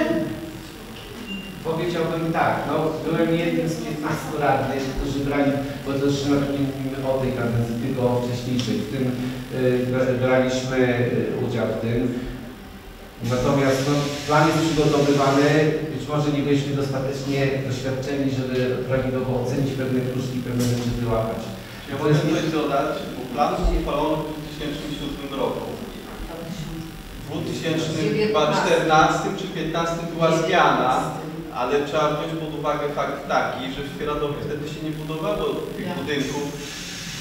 Nie było takich budynków. No ja rozumiem, ale ten plan to są zazwyczaj plany na wiele, wiele lat, więc one należy je tak y, się nimi zająć i nimi zaopiekować, żeby no, mieć jakby tą świadomość, że to może za 10 lat, za 12, za 15, tak? Zakładam, że plan, który będzie robiony, To każdy z był wtedy w kadencji, głosował w dobrej wierze. Znaczy mieliśmy chłopki jako świeradów tych inwestycji, bo też No ja wtedy, się jeszcze nie budowało, na, na ulicy Polnej czy innej nie było budynków. Dopiero one zostały później powstały. Rozumiem, to teraz, y, bo może nie wyczerpałam tematu, więc chyba muszę drugie pytanie też y, w tym samym kierunku. Y, Chciałabym zapytać o kwestię decyzji środowiskowych tego, y, w jaki sposób one są w Urzędzie Miasta podejmowane, czy Pan się tym interesuje, jak to wygląda i y, na jakiej, na jakiej podstawie decyzje te są wydawane i y, gdzie Pan widzi w przyszłości miejsce e, społeczeństwa przy wydawaniu tych decyzji, także stowarzyszeń, e, o których Pan już też wspomniał, które są według Pana e, gdzieś tam w opozy- w opozycji. Ale to nie było jakby, miałem jakby intencji negatywnej. Rozumiem. Gdzie Pan widzi jakby miejsce dla społeczeństwa, gdzie Pan widzi miejsce dla stowarzyszeń i jak Pan widzi rozstrzyganie e, decyzji środowiskowych przy, przy e, tych dużych budowach?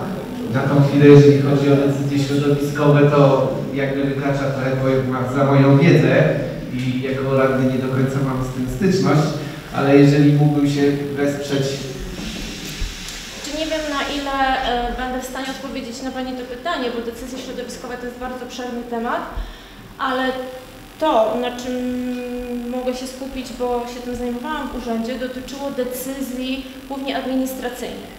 e, dotyczących przede wszystkim Przepraszam, ale zieleni- Pani się też zajmowała zlecaniem analiz y, na przykład y, y, środowiskowych? Nie, mój referat generalnie nie. No, tak jak powiedziałam, decyzje środowiskowe, czy to wszystko, co się z tym wiąże, jest bardzo takim obszernym pojęciem, bo podstawową rzeczą w jakichkolwiek decyzjach jest konserwator. I my tego nie jesteśmy w stanie generalnie przeskoczyć. I są Wiele rzeczy- instytucji, które wydają decyzje środowiskowe, to się, na to się składa wiele analiz różnych instytucji. A konkretnie o co Pani pyta? Jaką decyzję środowiskową dotyczącą czego? Nie, no nie, nie, nie będziemy teraz konkretnie omawiać. Ale no to, to ma istotne znaczenie, bo jeśli to dotyczy na przykład kwestii dotyczącej y, ochrony środowiska, w wydawaniu pozwoleń, dotyczących budowy, czy decyzji dotyczących wycinki drzew i całej reszty, co się z tym wiąże, to są dwa różne pojęcia i trzeba powiedzieć, o co Pani konkretnie chodzi. Chodzi mi o Wasze stanowisko w kwestii wydawania tego typu analiz, czyli za jaką, za jaką opcją, za, jakim za jakimi rozwiązaniami, za jakimi zaleceniami jesteście Państwo w momencie, kiedy takie decyzje środowiskowe wydajecie. Czy to jest opcja tnijmy wszystko, murujmy wszystko i e, grzebmy w ziemi tak głęboko, jak tylko to jest możliwe, czy e, druga strona, czyli nie pozwalajmy na nic, e, nie zetnijmy żadnego drzewa i e, kwiatki saćmy. czy jaka jest, jakie jest Wasze stanowisko? No i to jest właśnie to, co Pani powiedziała, czyli mówi Pani zupełnie o czymś innym. My jako urząd nie mamy takich kompetencji w wydawaniu decyzji dotyczących wycinki drzew, nie wydajemy żadnych decyzji dotyczących uzgodnień w kwestii budowli. Proszę O radę, o radę pytam. Przyszłą Wam radę. ale to, nie, ale to nie ma znaczenia, ale proszę mi dać skończyć, bo to nie ma znaczenia, czy to będzie Rada podejmować tę decyzję, czy my jako urząd. Ja chcę Pani powiedzieć, że my możemy wpłynąć na to tylko i wyłącznie w kwestii doprecyzowania albo do uszczegółowienia decyzji wydawanych przez konserwatora, a właściwie w kwestii wydawanych postanowień. A wie Pani dlaczego tak jest? Ponieważ konserwator jako urząd nadrzędny wydaje decyzję na wycinkę drzew dla inwestorów. Na olbrzymie pieniądze prowadzone są inwestycje.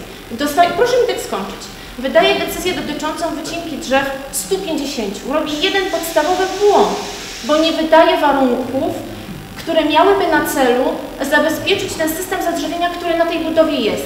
A my ja już wszystko rozumiem, tylko Pani nie odpowiada na pytanie. Ja chciałabym wiedzieć, jakie jest Pani, Pana, Państwa No to powiedziałam, będziemy, będziemy rozmawiać w kwestii uszczegółowienia i doprecyzowania decyzji dotyczących wydawanych przez konserwatora w kwestii budowy, czy wydawanych decyzji na budowę, bo to jest organ nadrzędny, i w kwestii wycinki drzew, tak? Rozumiem. Ja One nie mogą być... Państwa pytam, jakie jest Państwa zdanie na ten temat? Nie wiem. No tak, no bo oni potem będą y, głosować, więc y, oni będą głosować. No. Będą mieć, bo będą Bo ja nie bardzo rozumiem, co mogę Pani jeszcze powiedzieć. Ja, jako ja, Ewelina, tak, mieszkanka Światowa i były pracownik urzędu, nie mam możliwości y, wpłynięcia na decyzję konserwatora. To, co my zrobimy, proszę mi powiedzieć, skończyć, to, co my zrobimy, to będziemy podejmować decyzje z organem nadrzędnym, czyli konserwatorem, żeby wydawane decyzje wycinkę, na budowę, na pracę przy obiektach obytkowych, y, zabytkowych były doszczegółowione i były doprecyzowane, żeby one nie dotyczyły tylko wycinki drzew, ale wszystkiego, co się z tym wiąże, czyli warunków na zabezpieczenie tego, co zostanie albo jest w trakcie budowy. Żeby nie było takiej sytuacji, że te decyzje są nieszczelne, tak? I potem to wygląda tak, że my jako urząd, mając w swoim e, zakresie narzędzia w postaci wszczynania postępowań administracyjnych, jedziemy na taką budowę i wszczynamy postępowanie, bo się okazało, że konserwator nie wydał warunków dotyczących zabezpieczenia drzewostanu i my po prostu wszczynamy, bo drzewa są zniszczone, bo system korzeniowy jest uszkodzony i są to niepotrzebne sytuacje, które w ogóle nie powinny mieć miejsca.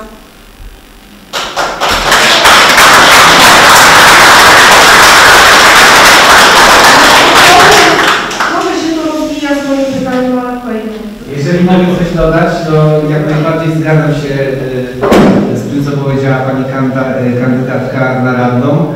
No ja mógłbym udzielić Pani tej odpowiedzi, ale dopiero za 5 lat, bo teraz jak już będę szedł po 5 latach, no poglądy mam takie same, ale z drugiej strony tak, takie, żeby było, e, aha, tak jak mam poglądy, no takie poglądy, że również mi się nie podoba sytuacja, kiedy wszystko jest wycinane w niej, tak? Ja jak najbardziej. No to właśnie mówię. Ale też i od Państwa, a mówicie o przepisach, o jakichś... No niestety, one też są... Oczywiście, że tak, ale a nie przepisy. No to e, tak jak wspomniała Ewelina, możemy przykładać jak największą uwagę na, na, na próbę doprecyzowania tego, żeby coś nie umknęło. Tak na tyle, na ile możemy. Po prostu. A jesteśmy za tym, żeby chronić środowisko.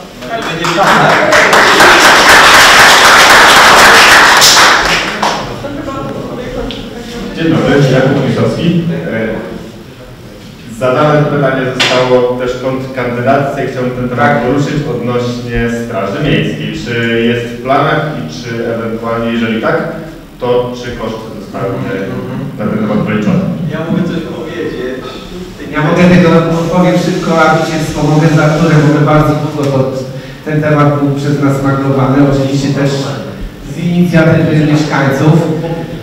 Żeby być szczerym, bo może być to wyciągnięte. W przeszłości nie byłem zwolennikiem Straży Miejskiej. Przyznaję się Państwu, tak było. To nie jest, y, to jest prawda. Y, Ale w sytuacji, w której miasto rozrosło się bardzo i generalnie ta potrzeba zaczęła być coraz intensywniej wyrażana przez mieszkańców i też widoczna naokoło nas, że, że, że brakuje takiego porządku bardziej mundurowego. Mm. Straż Miejska została zlikwidowana w 2010 roku. Wtedy y, etatów policyjnych, o ile się nie mylę, było 7. Teraz mamy 3 etaty. I dlatego nie, nie uciekniemy od tego tematu. Nie uciekniemy od Straży Miejskiej. Musimy to dokładnie przeliczyć. Y, Tutaj, żeby nie zajmować, y, żeby dać odpocząć sobie z trudem głosowym, poproszę mojego kolegę o Ja wypowiedzenie się. pozwoliłem sobie na takie analizy, jak to wygląda u sąsiadów, czyli w Mirsku i w Karpaczu. Karpacz jest bardziej zbliżony do nas. W Mirsku są dwa etaty Straży Miejskiej. Koszt utrzymania tej straży to jest 165 tysięcy złotych i y, pracują tam od godziny 7.30 do 15.30. Z kolei w Karpaczu jest system dwuzmianowy, jest czterech pracowników, koszt utrzymania tej straży miejskiej to jest 280 tysięcy i takie rozwiązanie to by nam pasowało, nie? czyli mm, zapewniałby ten porządek do późnych godzin wieczornych. Jeśli chodzi o przychody, bo wszystkie e, egzekucje mandatowe wpływają do budżetu miasta, chyba że jest taka sytuacja, że nie, źle zaparkowany pojazd, właściciel mieszka w innym rejonie, mm, nie wpłaca pieniędzy za y, mandat, sprawa jest kierowana do mm, jednostki w miejscu zamieszkania da- danej osoby. No i wtedy ta egzekucja jak gdyby wpływa na konto tamtej miejscowości. W przypadku Karpacza na przykład przez styczeń luty egzekucje mandatowe są na kwotę 42 tysięcy złotych, tylko przez dwa miesiące. E, Z kolei w Mirsku przez cały rok ubiegły było to 39 tysięcy. Y, Więc jak gdyby poniesione nakłady na utrzymanie Straży Miejskiej częściowo byłyby zmniejszone o te przychody z y, tytułu egzekucji. Przeszło mi się, że zostało 37 aut, co daje półtora tysiąca za każde auto, e, to myślę, że on się śmiało finansuje. No, jeżeli ewentualność taka jest, żeby jak gdyby wyegzekwować te pieniądze od tej danej osoby, no to po prostu zakładać blokady na koła, tylko że też no, nie można tych blokad mieć nie wiadomo ile. Co się stanie? No ale tak, niektórzy też po prostu ich nie płacą. nie? Ja myślę, że warto że zwrócić uwagę też na to, że są pewne rzeczy niepoliczalne. Nie, no tak, e, dokładnie. które nie wyrażają się też w pieniądzach dzięki temu, że to Straż Miejska będzie. Ja uważam, że taka straż jest potrzebna w mieście, żeby to też nie było tak, że będziemy wszystkich karać po kolei. Nie, na turystyczny musisz podpisać. No oczywiście w przypadku na przykład y, powstania jakichś płatnych stref parkingowych, no to też y, miałby w obowiązku egzekwowanie, sprawdzanie, czy są uiszczone opłaty nie, za maszynę. No i co pasuje? Natomiast musielibyśmy się przyzwyczaić, a w zasadzie odzwyczaić od naszych nawyków. Od parkowania w miejscach, w których zazwyczaj parkowaliśmy, jeżeli tam jest zakaz, bo nie byłoby tu taryfy ulgowej i prawo byłoby stosowane równo wobec wszystkich. Przykład tego był niedawno, jak były y, patrole policji jakby spoza Świeradowa y, zaprzęgnięte do utrzymywania porządku w sezonie takim bardziej turystycznym i zaczęli ścigać naszych mieszkańców, którzy zazwyczaj parkowali w miejscach, do których byli przyzwyczajeni, ale tam był zakaz, ale tak jest, to, są takie drobne konsekwencje, ale myślę, że w imię porządku warto przedstawić pewien tok rozumowania i myślę, że to jest rzecz, która no, jak najbardziej musimy się z tym zmierzyć. Bardzo proszę pan. Moje Tak. do Pani kandydatki, Pani Wasilewskiej. E, W swojej ulotce napisała Pani, że zrezygnowała Pani z pracy w urzędzie ze względu na byle jakość, tak? Ale proszę dokończyć, bo to nie jest y, cały cytat, który Pan przytoczył. To jeszcze to na pewno każdy się z tym Ale zastanawia. nie, jeśli Pan Nie chodzi, cytuje, to... nie chodzi o, o byle jakość, o byle jakość. I teraz tak, moje pytanie odnośnie drzew, ale drzew nie gdzieś, gdzie ktoś ma inwestycje, tylko na przykład w naszych parkach. Kto odpowiada za wycinkę lub kto odpowiadał za wycinkę tych drzew? Bo przecież konserwator tutaj nie przyjechał i nie zlecił wycinki tych drzew. Ktoś musiał dać zlecenie. Komu to nie pasowało, że mamy tyle drzew w takim parku? Odpowiem. To w pierwszej kwestii dotyczącej tego cytatu, który Pan przytoczył, niepełny, ponieważ odeszłam, bo napisałam, że chciałam byle jakość zamienić w jakość. I to ma istotne znaczenie, tak? Tylko, tylko ta byle jakość w tym urzędzie, w tym urzędzie do czegoś się odnosi. Ale my nie chciałabym tutaj e, rozmawiać e, na temat tego, dlaczego się tak stało. Czyli to Pani prywatna decyzja była, I jest, tak? no a tak, oczywiście, jestem pełnoletnia, dorosła, odpowiedzialna i świadomie podejmuję swoje decyzje i to była jedna z nich. A wracając do drzew, odpowiem. Wszyscy wiemy, że cały Świeradów jest objęty nadzorem konserwatorskim. I nie ma to znaczenia, czy chcemy sobie wymienić gzyms w oknie, czy wyciąć drzewo, czy zmienić e, płot. E, Organem nadrzędnym w pierwszej kolejności bezdyskusyjnie jest konserwator. I także on jest decydentem w kwestii drzew. Dementuje te plotki, które Pan przed chwilą powiedział, że przecież go tutaj nie było. Nie jest to prawdą. Każdy wniosek, który jest składany, bez względu na to, proszę mi dać skończyć, bez względu na to, czy jest to zwykły mieszkaniec, taki jak Pan czy ja, czy jest to inwestor, wnioski są składane bezpośrednio do konserwatora, jeśli są to drzewa na działkach prywatnych. Jeśli ktoś z mieszkańców ma problem, oczywiście może przyjść do nas do urzędu i niejednokrotnie tak się działo, że ja zgodnie z kompetencją przekazywałam taki wniosek złożony do konserwatora. A właściwie nie wniosek, tylko zgłoszenie zamiaru usunięcia drzewa. Bo wniosek, który składa inwestor, kończy się wydaniem decyzji administracyjnej. I to jest zasadnicza różnica w kwestii zgłoszenia zamiaru usunięcia drzewa przez mieszkańca, ponieważ kiedy składa to mieszkaniec, nie ma decyzji administracyjnej, jest tak zwana zgoda milcząca. Zgoda milcząca jest po czasie, kiedy przyjeżdża właśnie tu konserwator na oględziny w teren, robi protokół i od tego czasu jest tak zwana zgoda milcząca, czyli stricte sam mieszkaniec nie dostaje żadnego papieru do ręki, mówiąc kolokwialnie. Gdyby chciał mieć potwierdzenie w postaci papierowej, musi złożyć y, opłatę 17 zł do wskazanego urzędu przynależnego do miejsca zameldowania czy też lokalizacji drzewa i otrzymuje taki dokument, że organ nie wniósł zastrzeżeń w kwestii wycinki drzew. A drzewa, które zostały wycięte w parku, był to długotrwały proces, ponieważ były to wnioski składane jeszcze z lat ubiegłych. Przez kogo?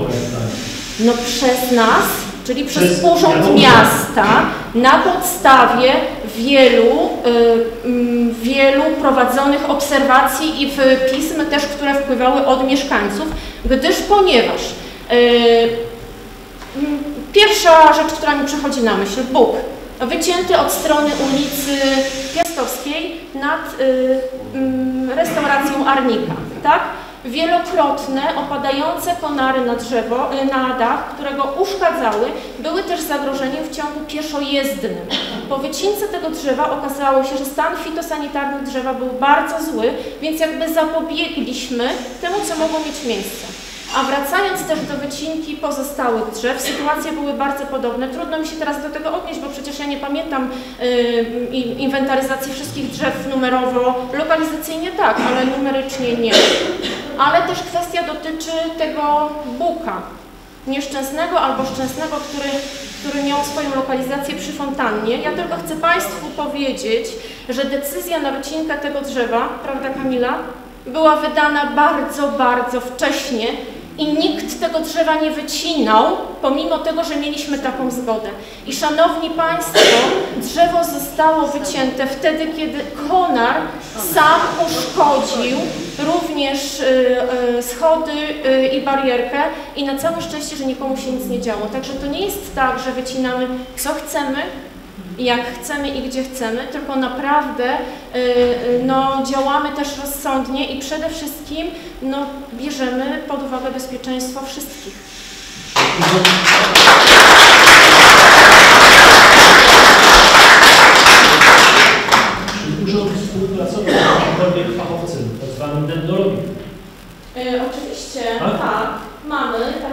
zaprzyjaźnionego. Co prawda nie jest to stała współpraca, ale na każdorazowe nasze telefoniczne wezwanie służy nam pomocą.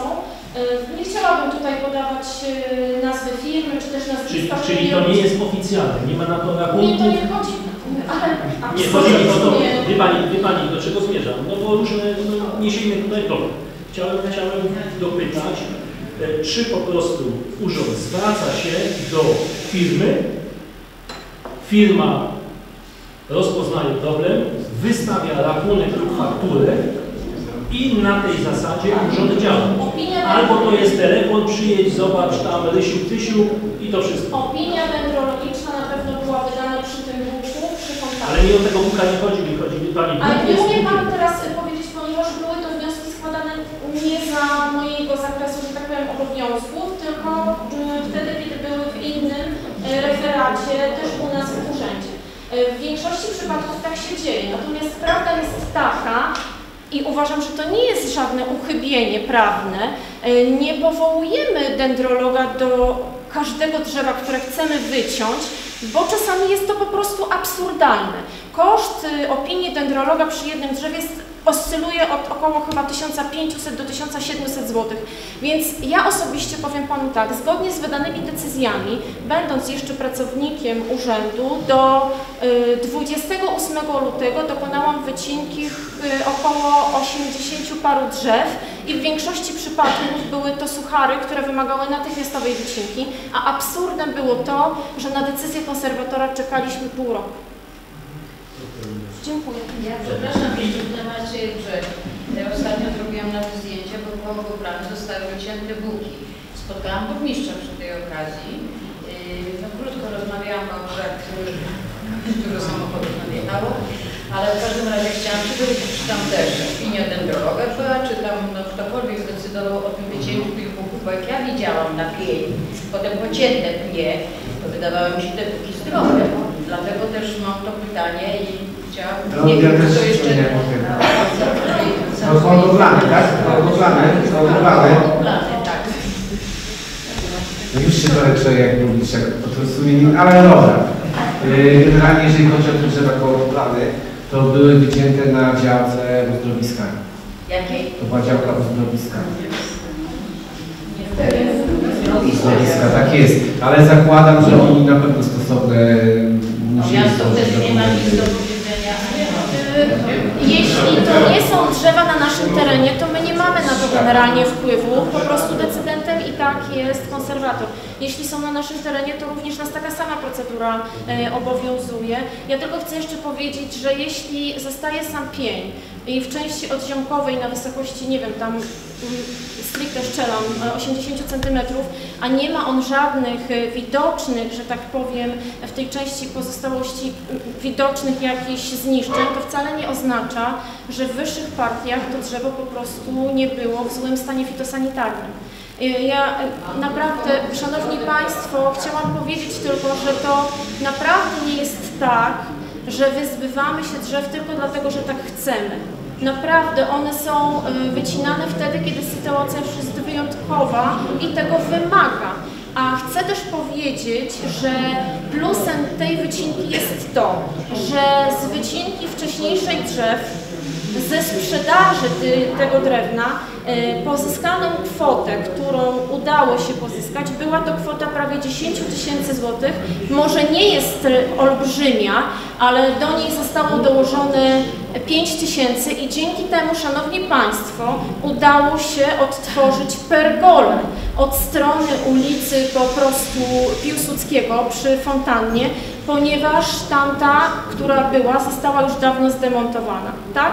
Więc naprawdę to jest cudowne. To drzewo, które zostało teraz pozyskane, myślę, że też będzie wystawione na sprzedaż i będzie można odtworzyć wtedy tą drugą pergolę, więc będziemy mieć naprawdę cudowny ciąg, fantastycznie zrobiony przez naszego lokalnego tutaj przedsiębiorcę, który dołożył bardzo wiele starań, a proszę mi wierzyć, że było to bardzo trudne, ponieważ opieraliśmy się tylko i wyłącznie na dokumentacji fotograficznej starej pergoli i trzeba było ją po prostu odtworzyć w formie rysunkowej, żeby konserwator to zaakceptował.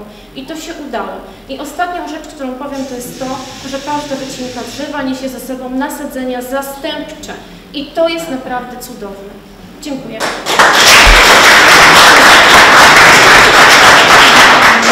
Bardzo proszę Pani,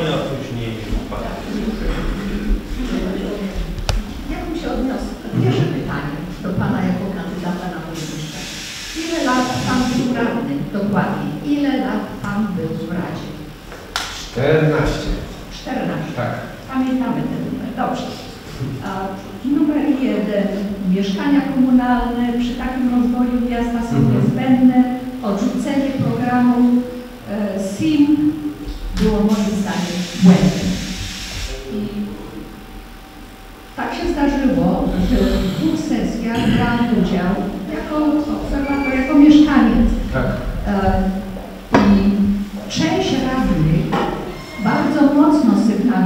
część radnych, nie wszyscy, że tam są nieprawidłowości.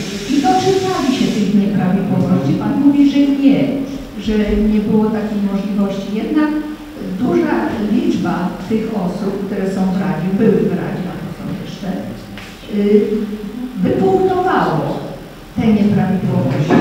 Także deprecjonowanie pracy Rady no, nie za bardzo jest na miejscu w tej chwili. To jest jedna rzecz. Druga rzecz, e, w sytuacji mm, program mieszkaniowy, SIM, dlaczego odrzucono? Tamto to było studium, a tu ja wracam do... Czy ja jestem klarowna? Nie, nie, bo teraz jakby mogę na to pierwsze pytanie, bo Dobrze, proszę na pierwsze. jeżeli chodzi o ten program SIM, to jest moja opinia i absolutnie nikogo nie deprecjonuję. Z mojego punktu widzenia to było dobre rozwiązanie, nie idealne, ale pozwalające na wykonanie ruchu w tym kierunku. Naprawdę absolutnie proszę nie mówić, że ja kogokolwiek deprecjonowałem. Każdy, jakby w Radzie głosuje się, jest większość za tym pomysłem, y, większość może być za innym, szanujemy swoje wybory i przechodzi albo nie, ale absolutnie nie ma żadnego, nigdy nie było jakby, przynajmniej z mojej strony, wywierania presji, tak więc Dobrze. żadnej deprecjacji. Dobrze. Y, Jaki był zasadniczy powód, że odrzucono SI? Y, Trzy razy, trzy razy Dwa. miasto podchodziło do budowy mieszkań komunalnych. W przeszłości. W przeszłości. W kadencji 16-letniej burmistrza pana Marciniaka. I trzy razy te mieszkania przeszły, nie, trzy razy mieszkańcy nie dostali tych mieszkań, one zostały w rękach y, deweloperów, inwestorów i to się rozpłynęło. Do dzisiaj stoi ten pomnik y, przy cmentarzu, za cmentarzem. Ja nie wiem, ulica Grunwaldzka? Nie. Tak, tak, tak. I była duża doza niewiary, że mieszkania z SIM, jakkolwiek one by były wprowadzone, że one znowu wylądują w rękach kogoś innego. To jest jedno. Ale ja jeszcze wracam do, y, być może trochę pomieszałam, przepraszam. A mogę szybko tutaj? Bo to Proszę, nie jest mój proszę. wątku. Y, Jaka, czy to są jakby decyzje, które nie leżały po mojej stronie, bo to y, jakby inicjatywa burmistrza, że on próbował takie formy współpracy nawiązać z przedsiębiorcami prywatnymi, żeby po prostu wybudować to, te mieszkania. I tych prób było kilka. Na pewnym etapie wszystko fajnie funkcjonowało, a później ten temat niestety okazywał, ja nie chcę wchodzić w szczegóły, bo to jakby nie moja kompetencja, ale istotna rzecz. Dlaczego uważam, że SIM jest lepszy niż tamte rzeczy? Tamte próby y, podejmowania tych. Bo SIM jest programem rządowym i to jest zasadnicza różnica. Y, A tam to były po prostu próby jakieś nawiązania spółek z prywatnymi y, przedsiębiorcami. I jakby, no to nie, nic więcej tutaj nie mogę dodać. Dobrze, zakładając, że to, co Pan mówi, jest y, korektne, więc y, ta y, inicjatywa SIM lepsza niż tamte y, decyzje, liczy się efekt końcowy poprzedni i poziom zaufania do rządzących spadł diametralnie, no zadołował.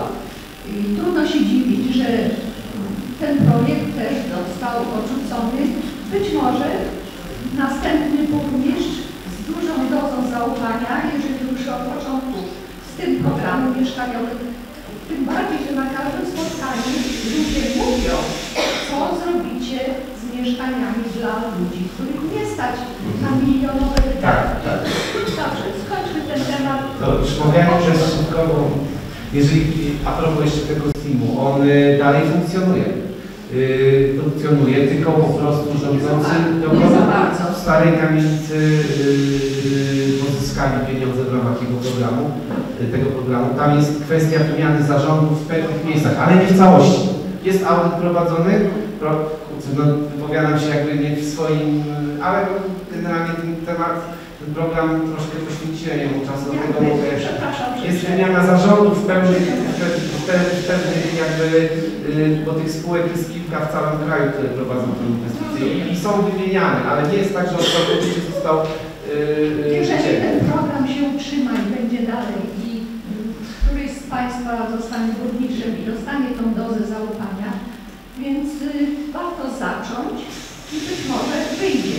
Ale przy dodać, administracji mhm. była marna szansa. Chcę, chcę, chcę też tylko dodać, że to też nie jest jedyny program, jaki był dostępny. Tylko ten mam już troszkę rozeznany i na pewno będziemy poszukiwać alternatywnych źródeł, ale warto y, wrócić do tego, co już troszkę jest nam znane. Dobrze. Teraz y, mówimy o studium.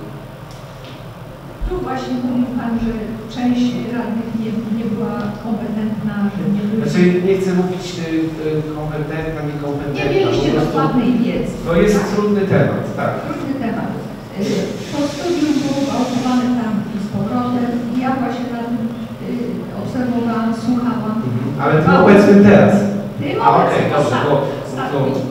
Ciężko mi się cofać gdzieś tam na wstecz, tak? Ale ten obecny, I tak. punkt po punkcie Tak. był korygowany, czyli on był zrobiony niedokładnie i no nieprawidłowo jednak. Dlatego, dlatego on upadł. I ja już słyszałam y, tą opinię od pani poprzedniej, pani Wilczarskiej, która kandyduje, że źle się stało, że studium nie zostało uchwalone. Pan tutaj też nadmienił, że e, powinno być uchwalone. Może jednak Tak czy nie. tak musimy uchwalić.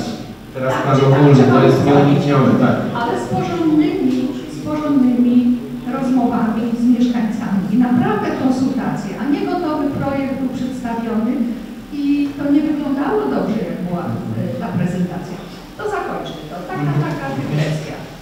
Nie, jeszcze nie, nie. Dobrze, jest ja Muszę to powiedzieć, bo tą, y, tą sprawę y, zgłaszałam często na sesjach Rady Miasta. Należy dołożyć większych starań, Pana program. Tak. Należy dołożyć większych starań w kwestii utrzymania porządku i czystości. Ja bym y, no, dyskutowała z tym zdaniem. Należy dołożyć. Tam nie było żadnych starań i nie było żadnych prac oprócz golenia mchu, bo tak, bo tak to trzeba nazwać. Ścieżki, trawniki, roślinność zanikająca, drzewa y, w marnym stanie. Y, Byłam na spotkaniu z panem, który było prze, przecudowne. Szkoda, że tak mało mieszkańców przyszło y, w Czerniawie na temat ochrony i pielęgnacji zieleni w mieście, a szczególnie w parkach. Nasz park ma zero, zero od wielu lat, od wielu lat. I dlatego ja się zapytałam, jak długo jest Pan radny? Ile razy Pan wnosił y, kwestię parku w czasie swojej kadencji, 14 lat? 14 lat wstecz, no nie jestem w stanie odpowiedzieć na to pytanie, naprawdę. To jest tak długi okres czasu, że... Dobrze, jeżeli będzie jeszcze możliwość, to bardzo proszę, jeżeli nie, to dziękuję. Dziękuję. Tutaj Pan proszę.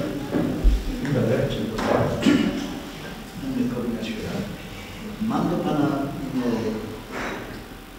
no może dwie kwestie. Do mikrofonu. Yy, Wspominał Pan yy, wielokrotnie o takich inwestycjach jak basen Mhm. i zawsze było dla młodzieży, dla dzieci, dla młodzieży, dla dzieci. Ale tak jak Pani mówiła, bez mieszkań dla przyszłych rodziców nie będziemy mieli dzieci. No właśnie. Właśnie, no to też jak Więc, wiedzę, to samego... no więc od czego zaczynamy? Od basenu. Jestem za. Sale gimnastyczne czy Jestem za.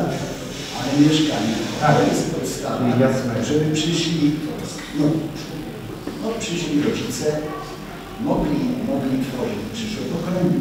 Dobrze, to tylko jakby jedna kwestia, bo yy, kwestia tego basenu w Czerniawie, to też jakby otrzymał dotacje, to były znaczone pieniądze na tego rodzaju inwestycje. I jakby nie chciałbym jakby tych rzeczy stawiać na jednym. Natomiast mieszkania są kluczowe. Są kluczowe. Aby było przyszłe pokolenie, to prawda. Na boku człowieka to się robi. To prawda. To jedno. A drugie, mieszkam y, niedaleko bliżej. Mikrofon. Białego Kamienia, przepraszam. Tak, tak. Chodzi mi o, wspominam y, y, tematy straży miejskie, zakazów i tak dalej. Od ulicy Zielonej, ale to nie tylko tam, tylko to jest powiedzmy blisko. W kierunku Pacówki jest tablica zakaz. Tak. Oprócz mieszkańców Dąbrowskiego chyba Chińskiego. Y, Proszę mi powiedzieć, może to będzie złe słowo, czy, czy nie powstają pewnego rodzaju getta dla właścicieli tych molowów? Dobrze, przepraszam za wrażenie molowów, ale to nie są y, mieszkania nas, mieszkańców.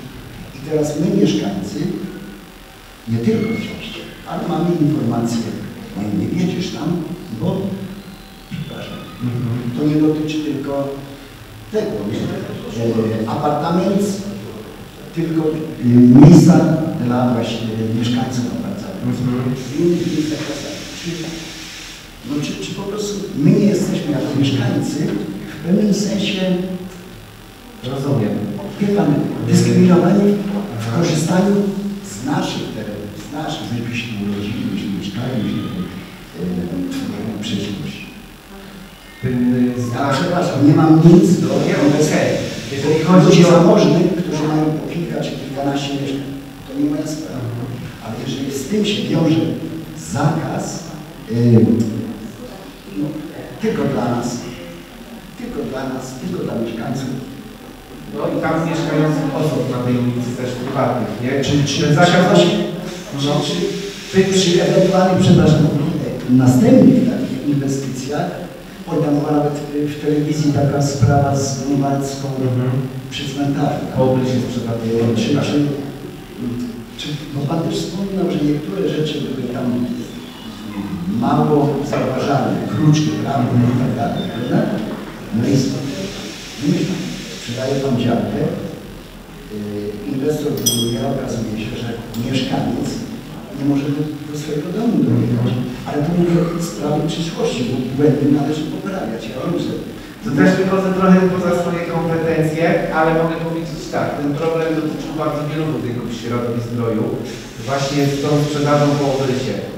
Kiedyś, kiedy były dokonywane zmiany przekształceniowe, żeby jakby zminimalizować koszt y, zakupu dla mieszkańców w danych budynkach, sprzedawane one były po obrysie, bo to było taniej. A to były lata temu. Nikt wtedy nie myślał, że jakby taka rozbudowa będzie duża. I troszkę takich sytuacji tutaj istniało. Natomiast ten temat mówię, to, to prowadzi dużo na tą chwilę, jakby poza moją y, jurysdykcją póki co. Wiem, że tam na pewno jakieś rozmowy się toczą. Póki co nie widać, że dajmy czas, aż bo wiem, że jakieś ruchy są robione w tym kierunku. Nie chciałbym się tutaj wypowiadać i wprowadzać Pana w błąd. I chodzi o ten znak zakazu. Ten znak zakazu został tam wprowadzony po to, zresztą Łukasz był przed chwilą, bo auta wjeżdżały pod wieże, gdzie generalnie nie mogą wjeżdżać. I ten zakaz został... Zgoda, sam jeżdżałem, to od razu przyznaję. Yy, bo to jest generalnie tamten, to jest dużo takich znaków zakazu, ale one jakby zamykają możliwość dojazdu i jazdy w tereny leśne. I teraz nie mogę sobie tak zwizualizować dokładnie, wiem, że ten znak jest, wiem jak wygląda, nawet ostatnio na filmiku Łukasza widziałem, tylko nie mogę sobie jakby teraz przygotować dokładnej lokalizacji. No jest przy, przy, przy samej ulicy Zielonej, to, to nawet nie chodzi, ale żeby kończymy ten temat. Mówi Pan o yy, trasach rowerowych, cudownych, mamy piękną wszystko jest racja. Ale mamy też krótkie odcinki się zwrócę do doktora Joey, żeby do tej przychodni dojechać, dojechać, ale dojść komuś, kto ma problemy z chodzeniem, a kobieta z ust, powiedziałem to wielokrotnie, to, nie, ten, to jest, panie doktorze, tam jest 100 metrów, 200, tam nie można, tam kobieta z dzieckiem albo opłuna, kobieta, mężczyzna, wszystko jedno, ktoś kontuzjowany, do pana doktora dojdzie, ale z, z, z jakim ryzykiem? A to jest od wielu, wielu lat. A to są przełomy na Mówimy o wielkich inwestycjach naukowych. To może ja panu powiem. Ten dany odcinek od y, Angeliki Pias od apartamentu wzdłuż Korczaka 5 oraz przychodni pana Aziza to jest własność prywatna. To jest własność spółdzielni. Droga? Tak. Ta, ten Droga kawałek... jest własnością prywatną? Tak, to jest właśnie spółdzielni y, mieszkaniowej bloku numer 5. Więc my jako gmina nie możemy sfinansować tej drogi, chyba że mieszkańcy by nam ją odsprzedali. Tylko problem wynika z tego, że mieszkańcy nie chcą odsprzedać tej drogi gminie, co jest też zrozumiałe, mają do tego prawo, więc temat y, na tą chwilę zostaje, no... Nie wiedziałem o tym, przepraszam, dlatego Ale to, to właśnie, to, przepraszam, to właśnie ciekawe, że nawet kawałek drogi, która służy wszystkim, No, ona służy, własnością wszystkich. ona służy tak jakby wspólnocie mieszkaniowej.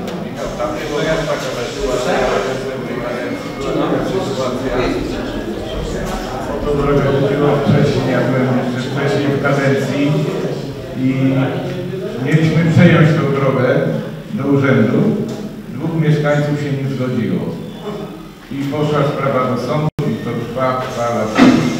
Ja już moja się kadencja zakończyła, następna i dalej drogi nie ma. Ci ludzie dalej się są. Myślałem, że to jest kwestia miasta, inwestycji. Nie wiedziałem. Wrócę do tematu mieszkań.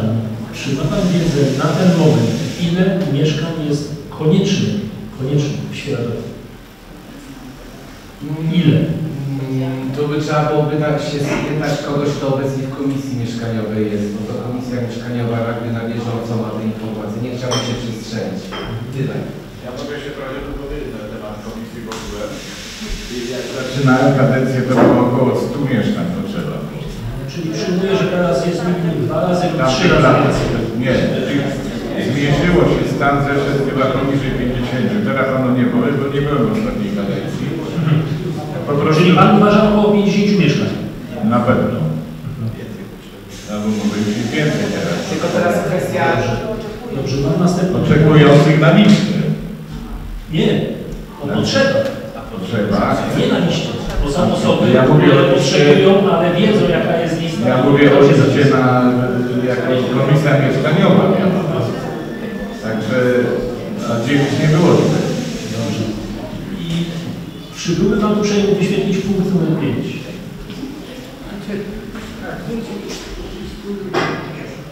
Tak, tak. To wracamy do Straży Miejskiej. Porządek przy inwestycjach powinien być priorytetem. Powiedział Pan coś takiego, że gmina, zresztą na sesji Rady Miasta, że gmina ma możliwości, żeby Tak. tak. wyegzekwować. I szybko zostałem utemperowany. Przez kogo? Yy, przez przepisy. Bo de facto można wyprowadzić postępowanie administracyjne, ale ono jest bardzo długotrwałe, bardzo rozciągnięte w czasie i a my musimy działać szybko i bezwzględnie. Tutaj tylko Straż Graniczna, przepraszam, Straż Miejska jest w stanie to wyegzekwować szybko i skutecznie. Yy, Droga administracyjna jest długa i też jakby no sam czas długości jej trwania yy, powoduje, że lepiej pójść w kierunku Straży Miejskiej. Dobrze, to jest konkretna odpowiedź. E, Punkt numer 8. Basen. Jak Pan jako burmistrz albo Panowie kandydaci i Pani kandydatki zamierzają ogrzać basen? Bo na żadnych wizualizacjach nie było fotowoltaiki, nie Tak. było żadnych odwiertów geotermalnych, nie było niczego takiego. W jaki sposób chcecie to zrobić? Mm, Projekt, który jest przygotowany zakłada ogrzewanie, ale w tym momencie Panu nie odpowiem. Czyli przyjmujemy całkiem normalny gaz. Mm, Niekoniecznie. To musiałbym się, że tak powiem, do tego tematu przysiąść jeżeli Pan chce, to mogę gdzieś odpowiedzieć, jakieś szczegóły będę miał. Skoro to tak szybko idzie, mm, 14. Studium ustalone. Tak, tak. Plan ogólny. Tak, plan ogólny studium. Wrócę do Mhm, tego. mhm. Zamiast tego, co rzeczywiście bublem, ale to totalnym bublem, nie można na szybko, i tu mówię do wszystkich mieszkańców, na szybko zmienić miejski plan zagospodarowania przestrzennego, zminimalizować ewentualnie, nie wiem, do 10, 12, 13 metrów wysokość zabudowy i na tym kroka. To można zrobić z dzisiaj na jutro. Nie uniknąć. Z Panem nie rozmawiam. Kto zapłaci odszkodowanie? Z Panem nie rozmawiam. Chyba, że Pan kandyduje. Kandyduje Pan? Nie. Nie Pan. Nie, nie możemy, oczywiście nie, nie, nie zmienimy rzeczy, które już są w toku. Nie zmienimy, nie zmienimy. Ale nawet jeżeli, nawet jeżeli, czy, czy po prostu e, my możemy albo, albo powinniśmy jako gmina przyjmować, że ktoś, kto kupił działkę, chce wybudować nie wiadomo co, skoro projekty nie zostały złożone? Nie. Nie mamy takiego obowiązku. Nie mamy obowiązku gdybać. Mimo To, że w 2019 roku z powodu jednego inwestora został zmieniony plan od tego inwestora, to już jest przeszłość. To już jest przeszłość. Ale patrzymy do przodu. Mam obawy co do y, kwestii prawnych, yy, które by się wiązały z taką decyzją, ale nie chciałbym się wypowiadać w tym temacie w tym momencie. Yy, z tego co się orientuję, jest takie ryzyko chcę odszkodowań. No, powiedzieć, bo to też naprawdę. nie był mój zakres, natomiast Ale- y, większość z Państwa pewnie wie, że studium było trzykrotnie, trzykrotnie wykładane, tak? Było y, wyłożone, y, budziło bardzo wiele kontrowersji, ponieważ za każdym razem dochodziły nowe wnioski, nowe pomysły, zarówno ze strony mieszkańców, jak, jak też inwestorów. Y, Tutaj też w dużej mierze k- konserwator y, miał na to wpływ. E, Pani planistka, która też chciała to wszystko połączyć, tak się po prostu nie da, Szanowni Państwo, co też spowodowało, że to niestety legło w gruzach, tak? Więc to nie jest też tak, że my to możemy zrobić dziś i jutro wdrożyć, bo tak to po prostu proceduralnie nie działa. To jest długotrwały proces, którego nie da się tak po prostu przeskoczyć. Naprawdę, mnóstwo czynników na to wpływa. Ale ten pomysł, o którym Pan powiedział, To jest, pomysł, że Pani z- powiedziała o studium. Pani powiedziała o studium. Panie, ja tam o tym o miejscowym, ja to-. Tak, ja to- o miejscowym planie. był taki to jest krótki kaszel, proszę mi wierzyć. Z dzisiaj na jutro można coś takiego przygotować. I nie należy się, znowu Pan przeszkadza, nie należy się zastanawiać nad odszkodowaniami, nad innymi rzeczami, bo jeżeli wnioski, jeżeli wnioski o pozwolenie na budowę nie zostały zaakceptowane, to gminy nie musi to interesować. Nie musi to interesować. Yy, To jest kwestia, której nie podejmował bez konsultacji z działem prawnym właściwym. A ja mam tak, taki, taki, no to jakby pan miał działkę i nagle kupił pan działkę budowlaną i zmieniłby plan urząd, że to jest tylko może pan tam drzewa sadzić. To jakby pan zareagował w takiej sytuacji? Ja, ja nie mówię, ja nie Ale to, to mniej więcej było to samo, nie? Bo ktoś jest obecny plan zagospodarowania i nagle następuje zmiana, ktoś kupił, zainwestował w tą działkę, kupił za kupę pieniędzy działkę, no i ktoś mu nagle ogranicza to, yy, zmieniając plan zagospodarowania. No to na zdrowy rozsądek idzie do sądu poprosić. Panie kandydacie, teraz to, co Pan mówi, to umożliwia tym wszystkim, którzy kiedyś kupili, takie gdybanie i ewentualnie drogę roszczeniową, pójście do sądu, bo jak oni nabyli tą działkę, to tak, tak. to można to było budować, nie wiem, 15-20 metrów. Dzisiaj mamy taki przykład z ulicy Górskiej, z rogu Górska Zielona, gdzie inwestor nabył działkę zaczyna budować. Jeszcze nie, ale już pozwolenie nieprawomocne, ale poszło. I teraz pytanie do Pana. Pan reprezentuje jeszcze ulicę Zieloną, tak? Śledzę ten cały przebieg dokumentacji, który Co Pan żeby przebiega tym, żeby tym osobom pomóc? na tą chwilę. Yy, całą tą dokumentację przygotowaną przez Państwa wysyłaliśmy do urzędów wyższych. Z tego co się orientuję, niedawno przyszła yy, informacja od wojewódzkiego konserwatora zabytków we Wrocławiu, który stwierdził, że y, jeżeli chodzi o ten budynek, że wszystko jest jakby zgodnie z planem miejscowym i oni nie roszczą żadnych tutaj, y, nie widzą żadnych nieprawidłowości i to była ich odpowiedź. Nie wiem, czy to do Państwa dotarło, możliwe, że Ja nie jest jestem. A, okej, dobrze. Ja nie Proszę Państwa, pozwolę sobie przy, tej, y, przy tym punkcie dyskusji powiedzieć, jak to jest w Jeleniej Górze. bo Ja mieszkam w Jeleniej Górze, tam pracuję, byłem wiele lat dziennikarzem, jak śledzę pracę samorządu. Jelenia Góra ma teraz, miasto dostało prawomocny wyrok odszkodowania na 8,5 miliona złotych za właśnie takie przekształcenia miejscowych planów, wcześniej studiów. Była sobie, mm, no jest pani, ma tam jakąś działkę, na nie ma nic, są chaszcze. Jeszcze przez chyba 7 lat nie będzie tam można nic budować, bo to jest teren dawnego wysypiska i tam był okres ochronny. Ale jak miasto projektowało lata temu, lata temu przebieg obwodnicy, to tam zrobiło w planie, y, miało być takie zjazdy i miała biec obwodnica. I na kawałku terenu tej pani zaplanowano możliwość, to w studium właśnie, wielkopowierzchniowych obiektów handlowych. Oczywiście a tam się nic nie dzieje, żadnego pozwolenia to nie można należy budować na pani. Żadnych obiektów wielkopowierzchniowych też tam nie będzie, bo nie ma takiego zapotrzebowania. Miasto odeszło od koncepcji budowy obwodnicy, bo to jest za drogie, miasta nie stać, nigdy nie będzie. Powróciło planem do tych zapisów wcześniejszych, ale pani powie, poszła do sądu, mówi, ja chwileczkę, ja chciałam, tutaj mam działkę, planowała w przyszłości wielkopowierzchniowy obiekt handlowy, państwo mi to zmienili, powrócili, ja chcę odszkodowanie. Raz przegrała, odwołała się, wygrała, później w drugiej instancji sąd mówi, nie, drodzy Państwo, Pani miała działkę, miała taki To zapis, jest demokracja, proszę pana. Jak panu się nie podoba, to pan do miejsca, proszę się przyprowadzić. nie, to powstrzymajmy się emocje, tylko Państwu chcę uzmysłowić, odpowiedzialny za porządek, prawda? Tak, dlatego mówię, powstrzymajmy te emocje. I drodzy Państwo, to yy, a propos tej dyskusji nie da się z dnia na dzień dokumentów planistycznych zrobić, bo plany państwowego musi być zgodny ze studium. I to się tak nie da. Tu przykład chciałem Państwu podać, no jakby czarno na białym, że takie, yy, takie procedowanie właśnie yy, prowadzi do takich sytuacji. A co więcej, ta pani dalej jest właścicielem tej działki, czyli podwójnie zarobiła. Tu dostanie odszkodowania w przyszłości. Jak się ta, ten okres ochronny tej okresu rekultywacji zmieni, to ona mówi, no to wystawia ogłoszenie, sprzedaje. Yy, Przepraszam, że się zwróciłem. Dla Państwa jeszcze jest głos. Może tak tylko jedno pytanie. Bo trochę Panu uniknęło odpowiedzi na moje pytanie, ale y, czyli y, okazuje się po tym, co Pan mówi, po tej dyskusji, którą prowadzimy, y, staliśmy się zakładnikami y, tego planu. Y, nie mamy na niego jakby pomysłu. Y, no i trochę jakby Pan musi przyznać, że jest Pan częścią wprowadzenia nas w ten stan. No, tak dużej odpowiedzialności to na siebie nie robił wszystko. Dlatego powiedziałam częścią.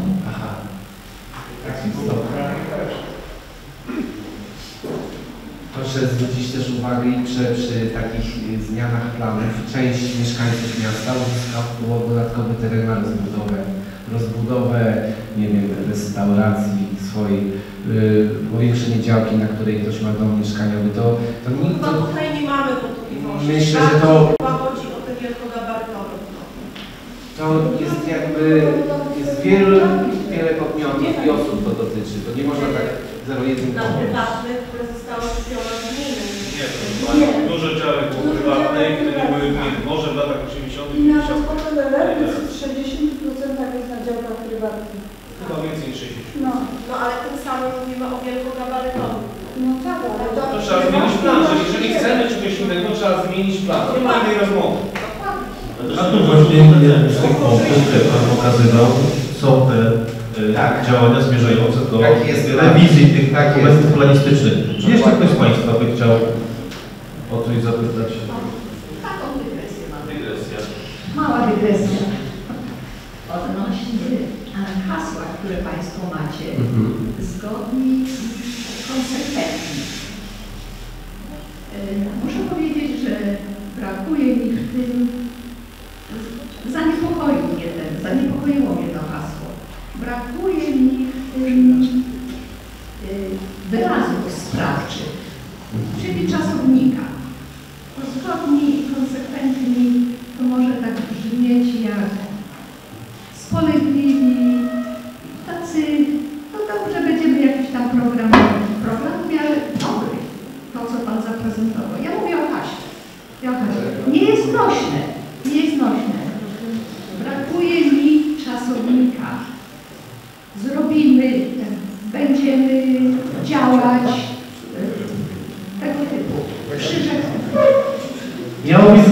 to trochę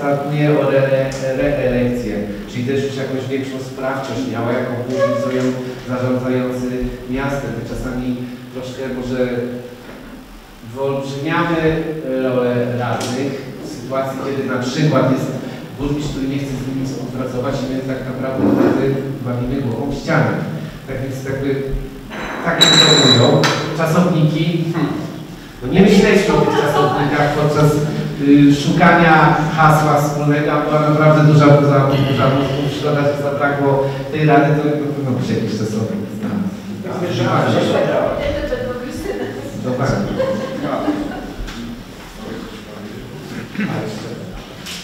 Chciał Pani odpowiedzieć na temat y, komitetu, nazwy.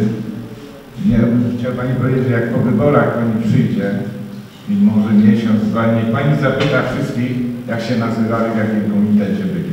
Mało kto odpowie, bo nie będzie już pamiętał na pewno.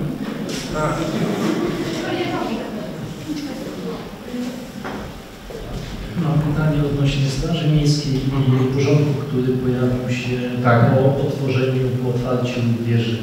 Mhm. Mnóstwo samochodów, Tak. mnóstwo wszystkich, Pan doskonale o tym wie, jest Tak. radny ulicy Zielonej. Moje pytanie, co jako Pan radny, czy Pan wystosował jakąś interpelację, zapytanie, wniosek lub inne rzeczy charakteru prawnego odnośnie w strefie A nie ma parkingu, prawda? Nie może być. Nie może. E, c- I dlatego pytanie, co Pan zrobił, aby zdelegalizować działający parking na ulicy Łódzkiej pod hasłem bliżej nie będzie? Jeżeli chodzi o tamten parking, to zajmowało się tym miasto, yy, bo to była rola Urzędu Miasta podjąć pewne decyzje. Nie chcę za bardzo wchodzić w ten temat, ale pewne postępowania... To jest przeszła dwa lata, proszę Pana. Wiem, ale to już jakby nie... To już dzieje się to poza nami. Ale naszym. jako, jako radny z tamtej okolicy, z ulicy Zielonej, która bezpośrednio jest zagrożona Ale to nie tylko ja jako radny, bo przypominam sobie, że w ogóle też przygotowywaliśmy jako Rada e, pismo, które było taką, głosowaliśmy nad podjęciem dokumentu dotyczącego, żeby zmusić miasto do zajęcia stanowiska w tej kwestii, tak więc na pewne ruchy były.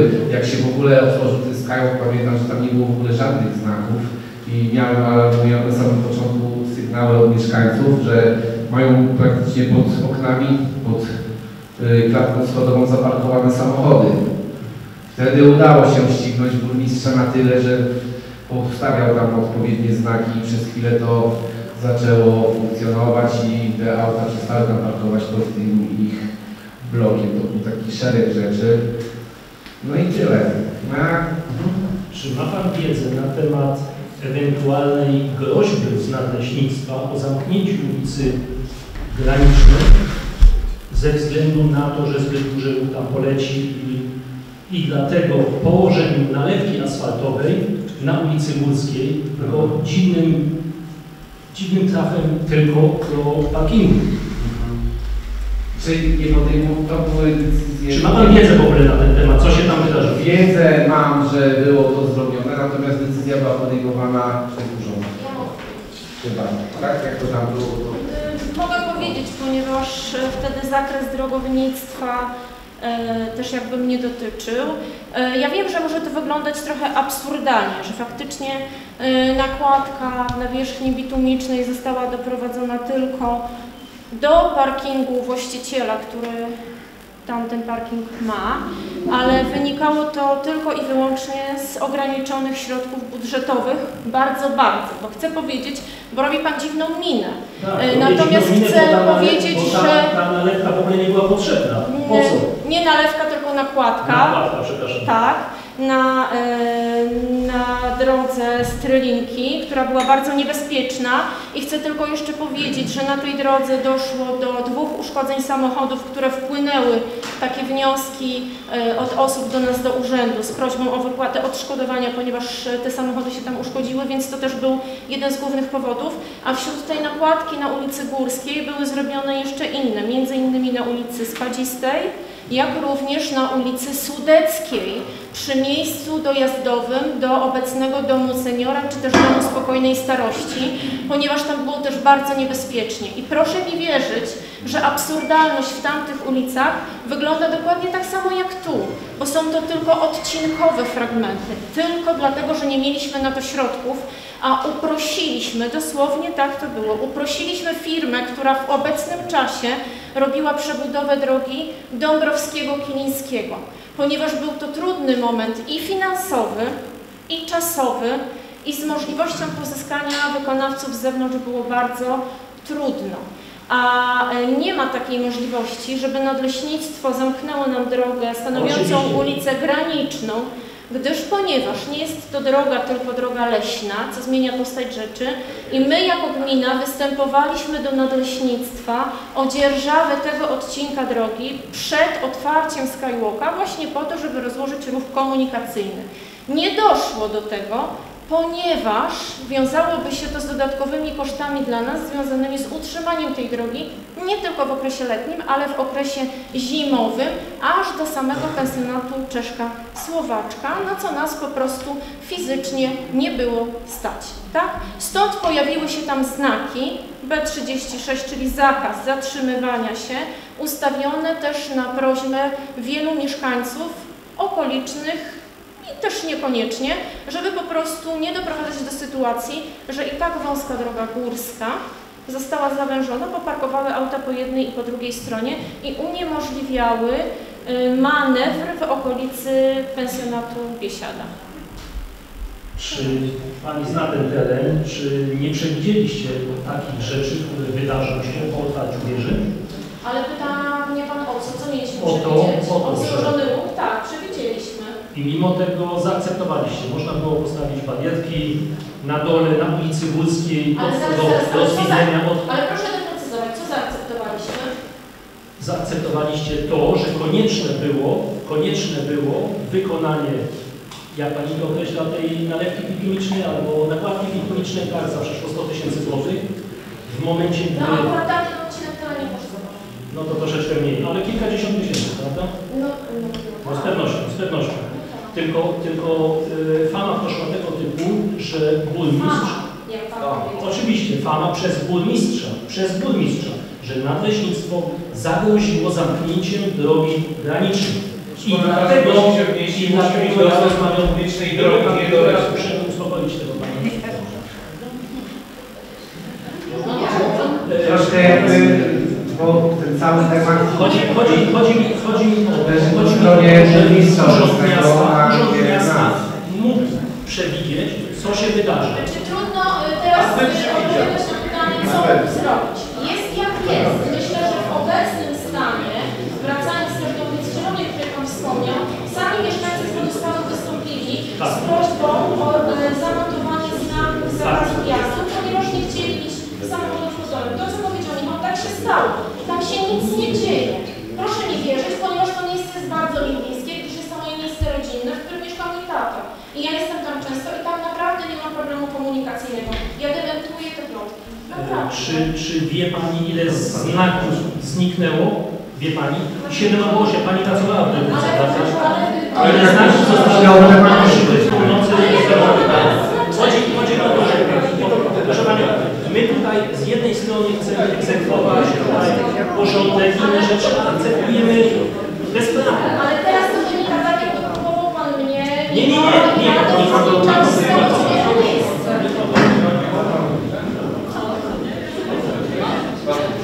No, tak jak przysłuchuję się Państwa dyskusji na temat zagranicznej, zielonej, to jedna, jedna rzecz zasadnicza. Nie ma w Świeradowie ulicy Granicznej na odcinku od e, najpiękniejszego naszego budynku, czyli e, jak my na nim mówimy, przypomnijcie mi, bo leciało z głowy, a cała ulica Graniczna na tym odcinku, który, o którym tu wszyscy dyskutujecie, jest w gminie Milsk. Nie ma takiej ulicy w Świeradowie. No to jak nie ma tej ulicy, to po co to gadanie? My nie mamy nawet porozumienia z gminą Mirsk, aby tą drogę przejąć. W planie zagospodarowania przestrzennego ta droga też nie funkcjonuje. To jest tylko dobra wola na dzień dzisiejszy nadleśnictwa, żeby, że my tamtędy możemy jeździć w mniej lub bardziej uproszczony sposób. I takich problemów jest wiele i myślę, że to jest zagadnienie do, do dyskusji, a nie to, o czym Państwo mówicie, ale to tylko moje prywatne zdanie. Dziękuję.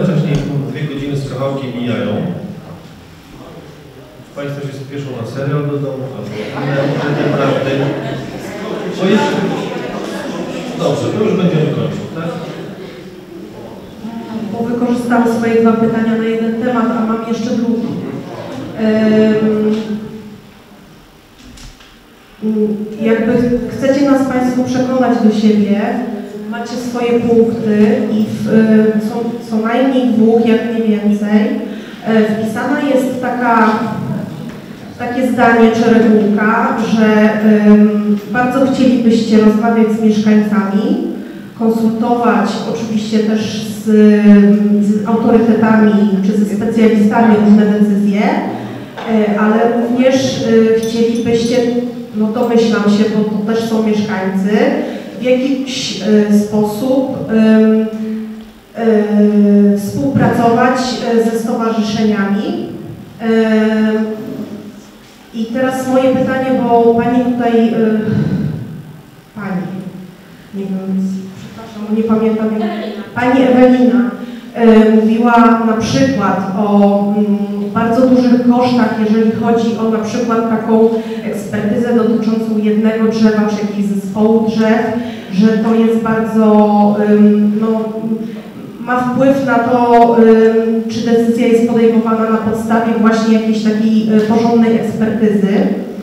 W związku z tym moje pytanie, czy któryś z Państwa zna y, projekt Stowarzyszenia FLINS, y, który był finansowany przez unijne środki, y, projekt, który w finale posiada do, dokładną, gotową dokumentację wszystkich e, drzew, które znajdują się w parkach zdrojowych, obu parkach, czerniawskim i świeradowskim. Czy Państwo kiedykolwiek do tego zajrzeli? Czy Państwo mają aplikację, e, bo to dla każdego mieszkańca jest ta aplikacja, e, można sobie ją założyć i czy Państwo widzieli e, te ekspertyzy, które są już dokonane przez fachowego dendrologa, no, któremu Unia Europejska za tą pracę już zapłaciła. I tym samym też pytanie, które jest dla mnie bardzo ważne, jak Państwo sobie wyobrażają w przyszłości e, taką współ, taką koegzystencję z mieszkańcami, stowarzyszeniami i tymi ludźmi, którzy się troszczą o nasze miasto. Znam ten projekt, tak? Zapoznawałem się z nim, mało tego wiem, że były też jakieś rozmowy podejmowane w urzędzie miasta w ramach tej bazy danych, o której Pani wspomina. Nie wiem, w jakim etapie to teraz jest. E, No ta współpraca jest w ogóle konieczna, tak? Jakby staram się to w całym tym swoim programie wyjustować, że chciałbym rozmawiać z każdą, tak? Nie wiem, czy coś tu jeszcze więcej Ja można tylko dodać. mogę powiedzieć tyle, że tak, faktycznie grant został otrzymany przez to stowarzyszenie. Dendrolog, który uczestniczył w tym projekcie jest nam bardzo dobrze znany, ponieważ my z nim też współpracowaliśmy. Czy współpracujemy? Trudno mówić, że teraz, ponieważ ja już nie jestem pracownikiem urzędu. Niemniej jednak jest to faktycznie e, fachowiec, który ma olbrzymią wiedzę, kompetencje, kwalifikacje. e, no niepodważalne, tak? No, To jest ważne. Y, Nie umiem powiedzieć na tym etapie, czy ten program inwentaryzacji stricte trafił do urzędu i czy ktoś się z nim zapoznał. Ta aplikacja, o której Pani mówi, nie jest skomplikowana, bo ja sama stricte Ewelina Wasilewska też się do niej zalogowałam, każdy może to generalnie zrobić. Yy, Prawda jest tylko taka, że na etapie tej inwentaryzacji nikt z pracowników na tamten moment w niej nie uczestniczył i ta inwentaryzacja dotyczy tylko i wyłącznie zadrzewienia w parku. Yy, Obawiam się, obawiam się, a raczej na pewno tak jest, że w momencie, kiedy ona była prowadzona, albo tuż po tym, kiedy została zrobiona, nie zostały chyba do końca w niej ujęte te drzewa, które zostały wycięte też przez nas, bo takowe miały miejsca na przykład dwa w części parku w Czerniawie, które były po prostu w stanie fitosanitarnym bardzo złym, miały zachwianą statykę i wymagały, e, że tak powiem, pilnego usunięcia i one były usuwane e, nie tak dawno, więc nie umiem powiedzieć, jak to jest na tym etapie. Gdyby Pani chciała e, jakieś bliższe informacje, to trzeba po prostu do urzędu się zgłosić. Myślę, że na pewno ktoś na te pytania odpowie. Drodzy Państwo, brak y, lasu rąk uznam y, za zapowiedź y, podziękowania z Państwa strony za dzisiejsze spotkanie. Jeśli tylko mogę takim uchem i okiem dziennikarza, nazwa komitetu jest nazwą własną, a w nazwach własnych czasowniki są niezwykle rzadkie. A wracając do nazw komitetu, w wyborach samorządowych w 2002 roku w Szklarskiej Porębie jeden pan doktor założył swój komitet wyborczy o wdzięcznej nazwie jednowyrazowej Klitoris. To zna Klitoris. Znam tą historię. I wybory zakończone sukcesem, bez czasownika. Państwo sprawdzą sobie w słowniku, co to znaczy. Yy, pozwoli pan, pan na, na koniec już y, zupełnie, bo tutaj jest...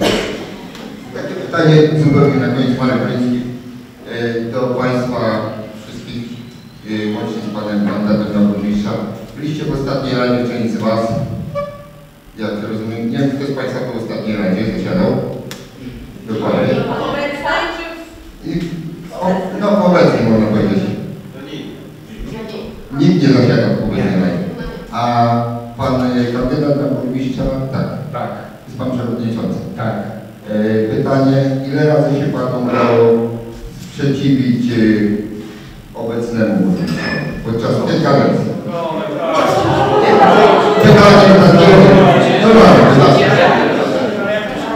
Powiem tak, no pytania od y, kandydata z konkurencyjnego kandydata to się nie spodziewał. Nie wiem, no, póki co. Nieważne. Y, Na pewno takie sytuacje, ale wie pan... Jeden przykład. Nie mogę sobie przypomnieć przykładu, bo takich głosowań było wiele. To trzeba wejść w system informatyczny i zobaczyć sobie, jak przesz, y, przechodzą głosowania. Czasami prowadzę sesję przez, nie wiem, 6-5 godzin, jest ileś tam uchwał. To nigdy nie jest tak, że wszystko było. I to pytanie trochę tak, no, no nie jest do końca uczciwe, bo na przestrzeni 5,5 roku było tyle uchwał, że No ja fizycznie jestem panu wskazać konkretnej uchwały, naprawdę. W tym całym uchwał. Ale były jakieś sytuacje. Oczywiście. Drugie No nie. czytanie, drugie czytanie jeszcze? Nie, to wszystko. Dziękuję. Dziękuję. Pora się pożegnać. Mniejszy, bardzo chciałbym Państwu podziękować y, za spotkanie. Y, zachęcam do głosowania 7 kwietnia. Dziękuję bardzo. Dobranoc. Wieczoru.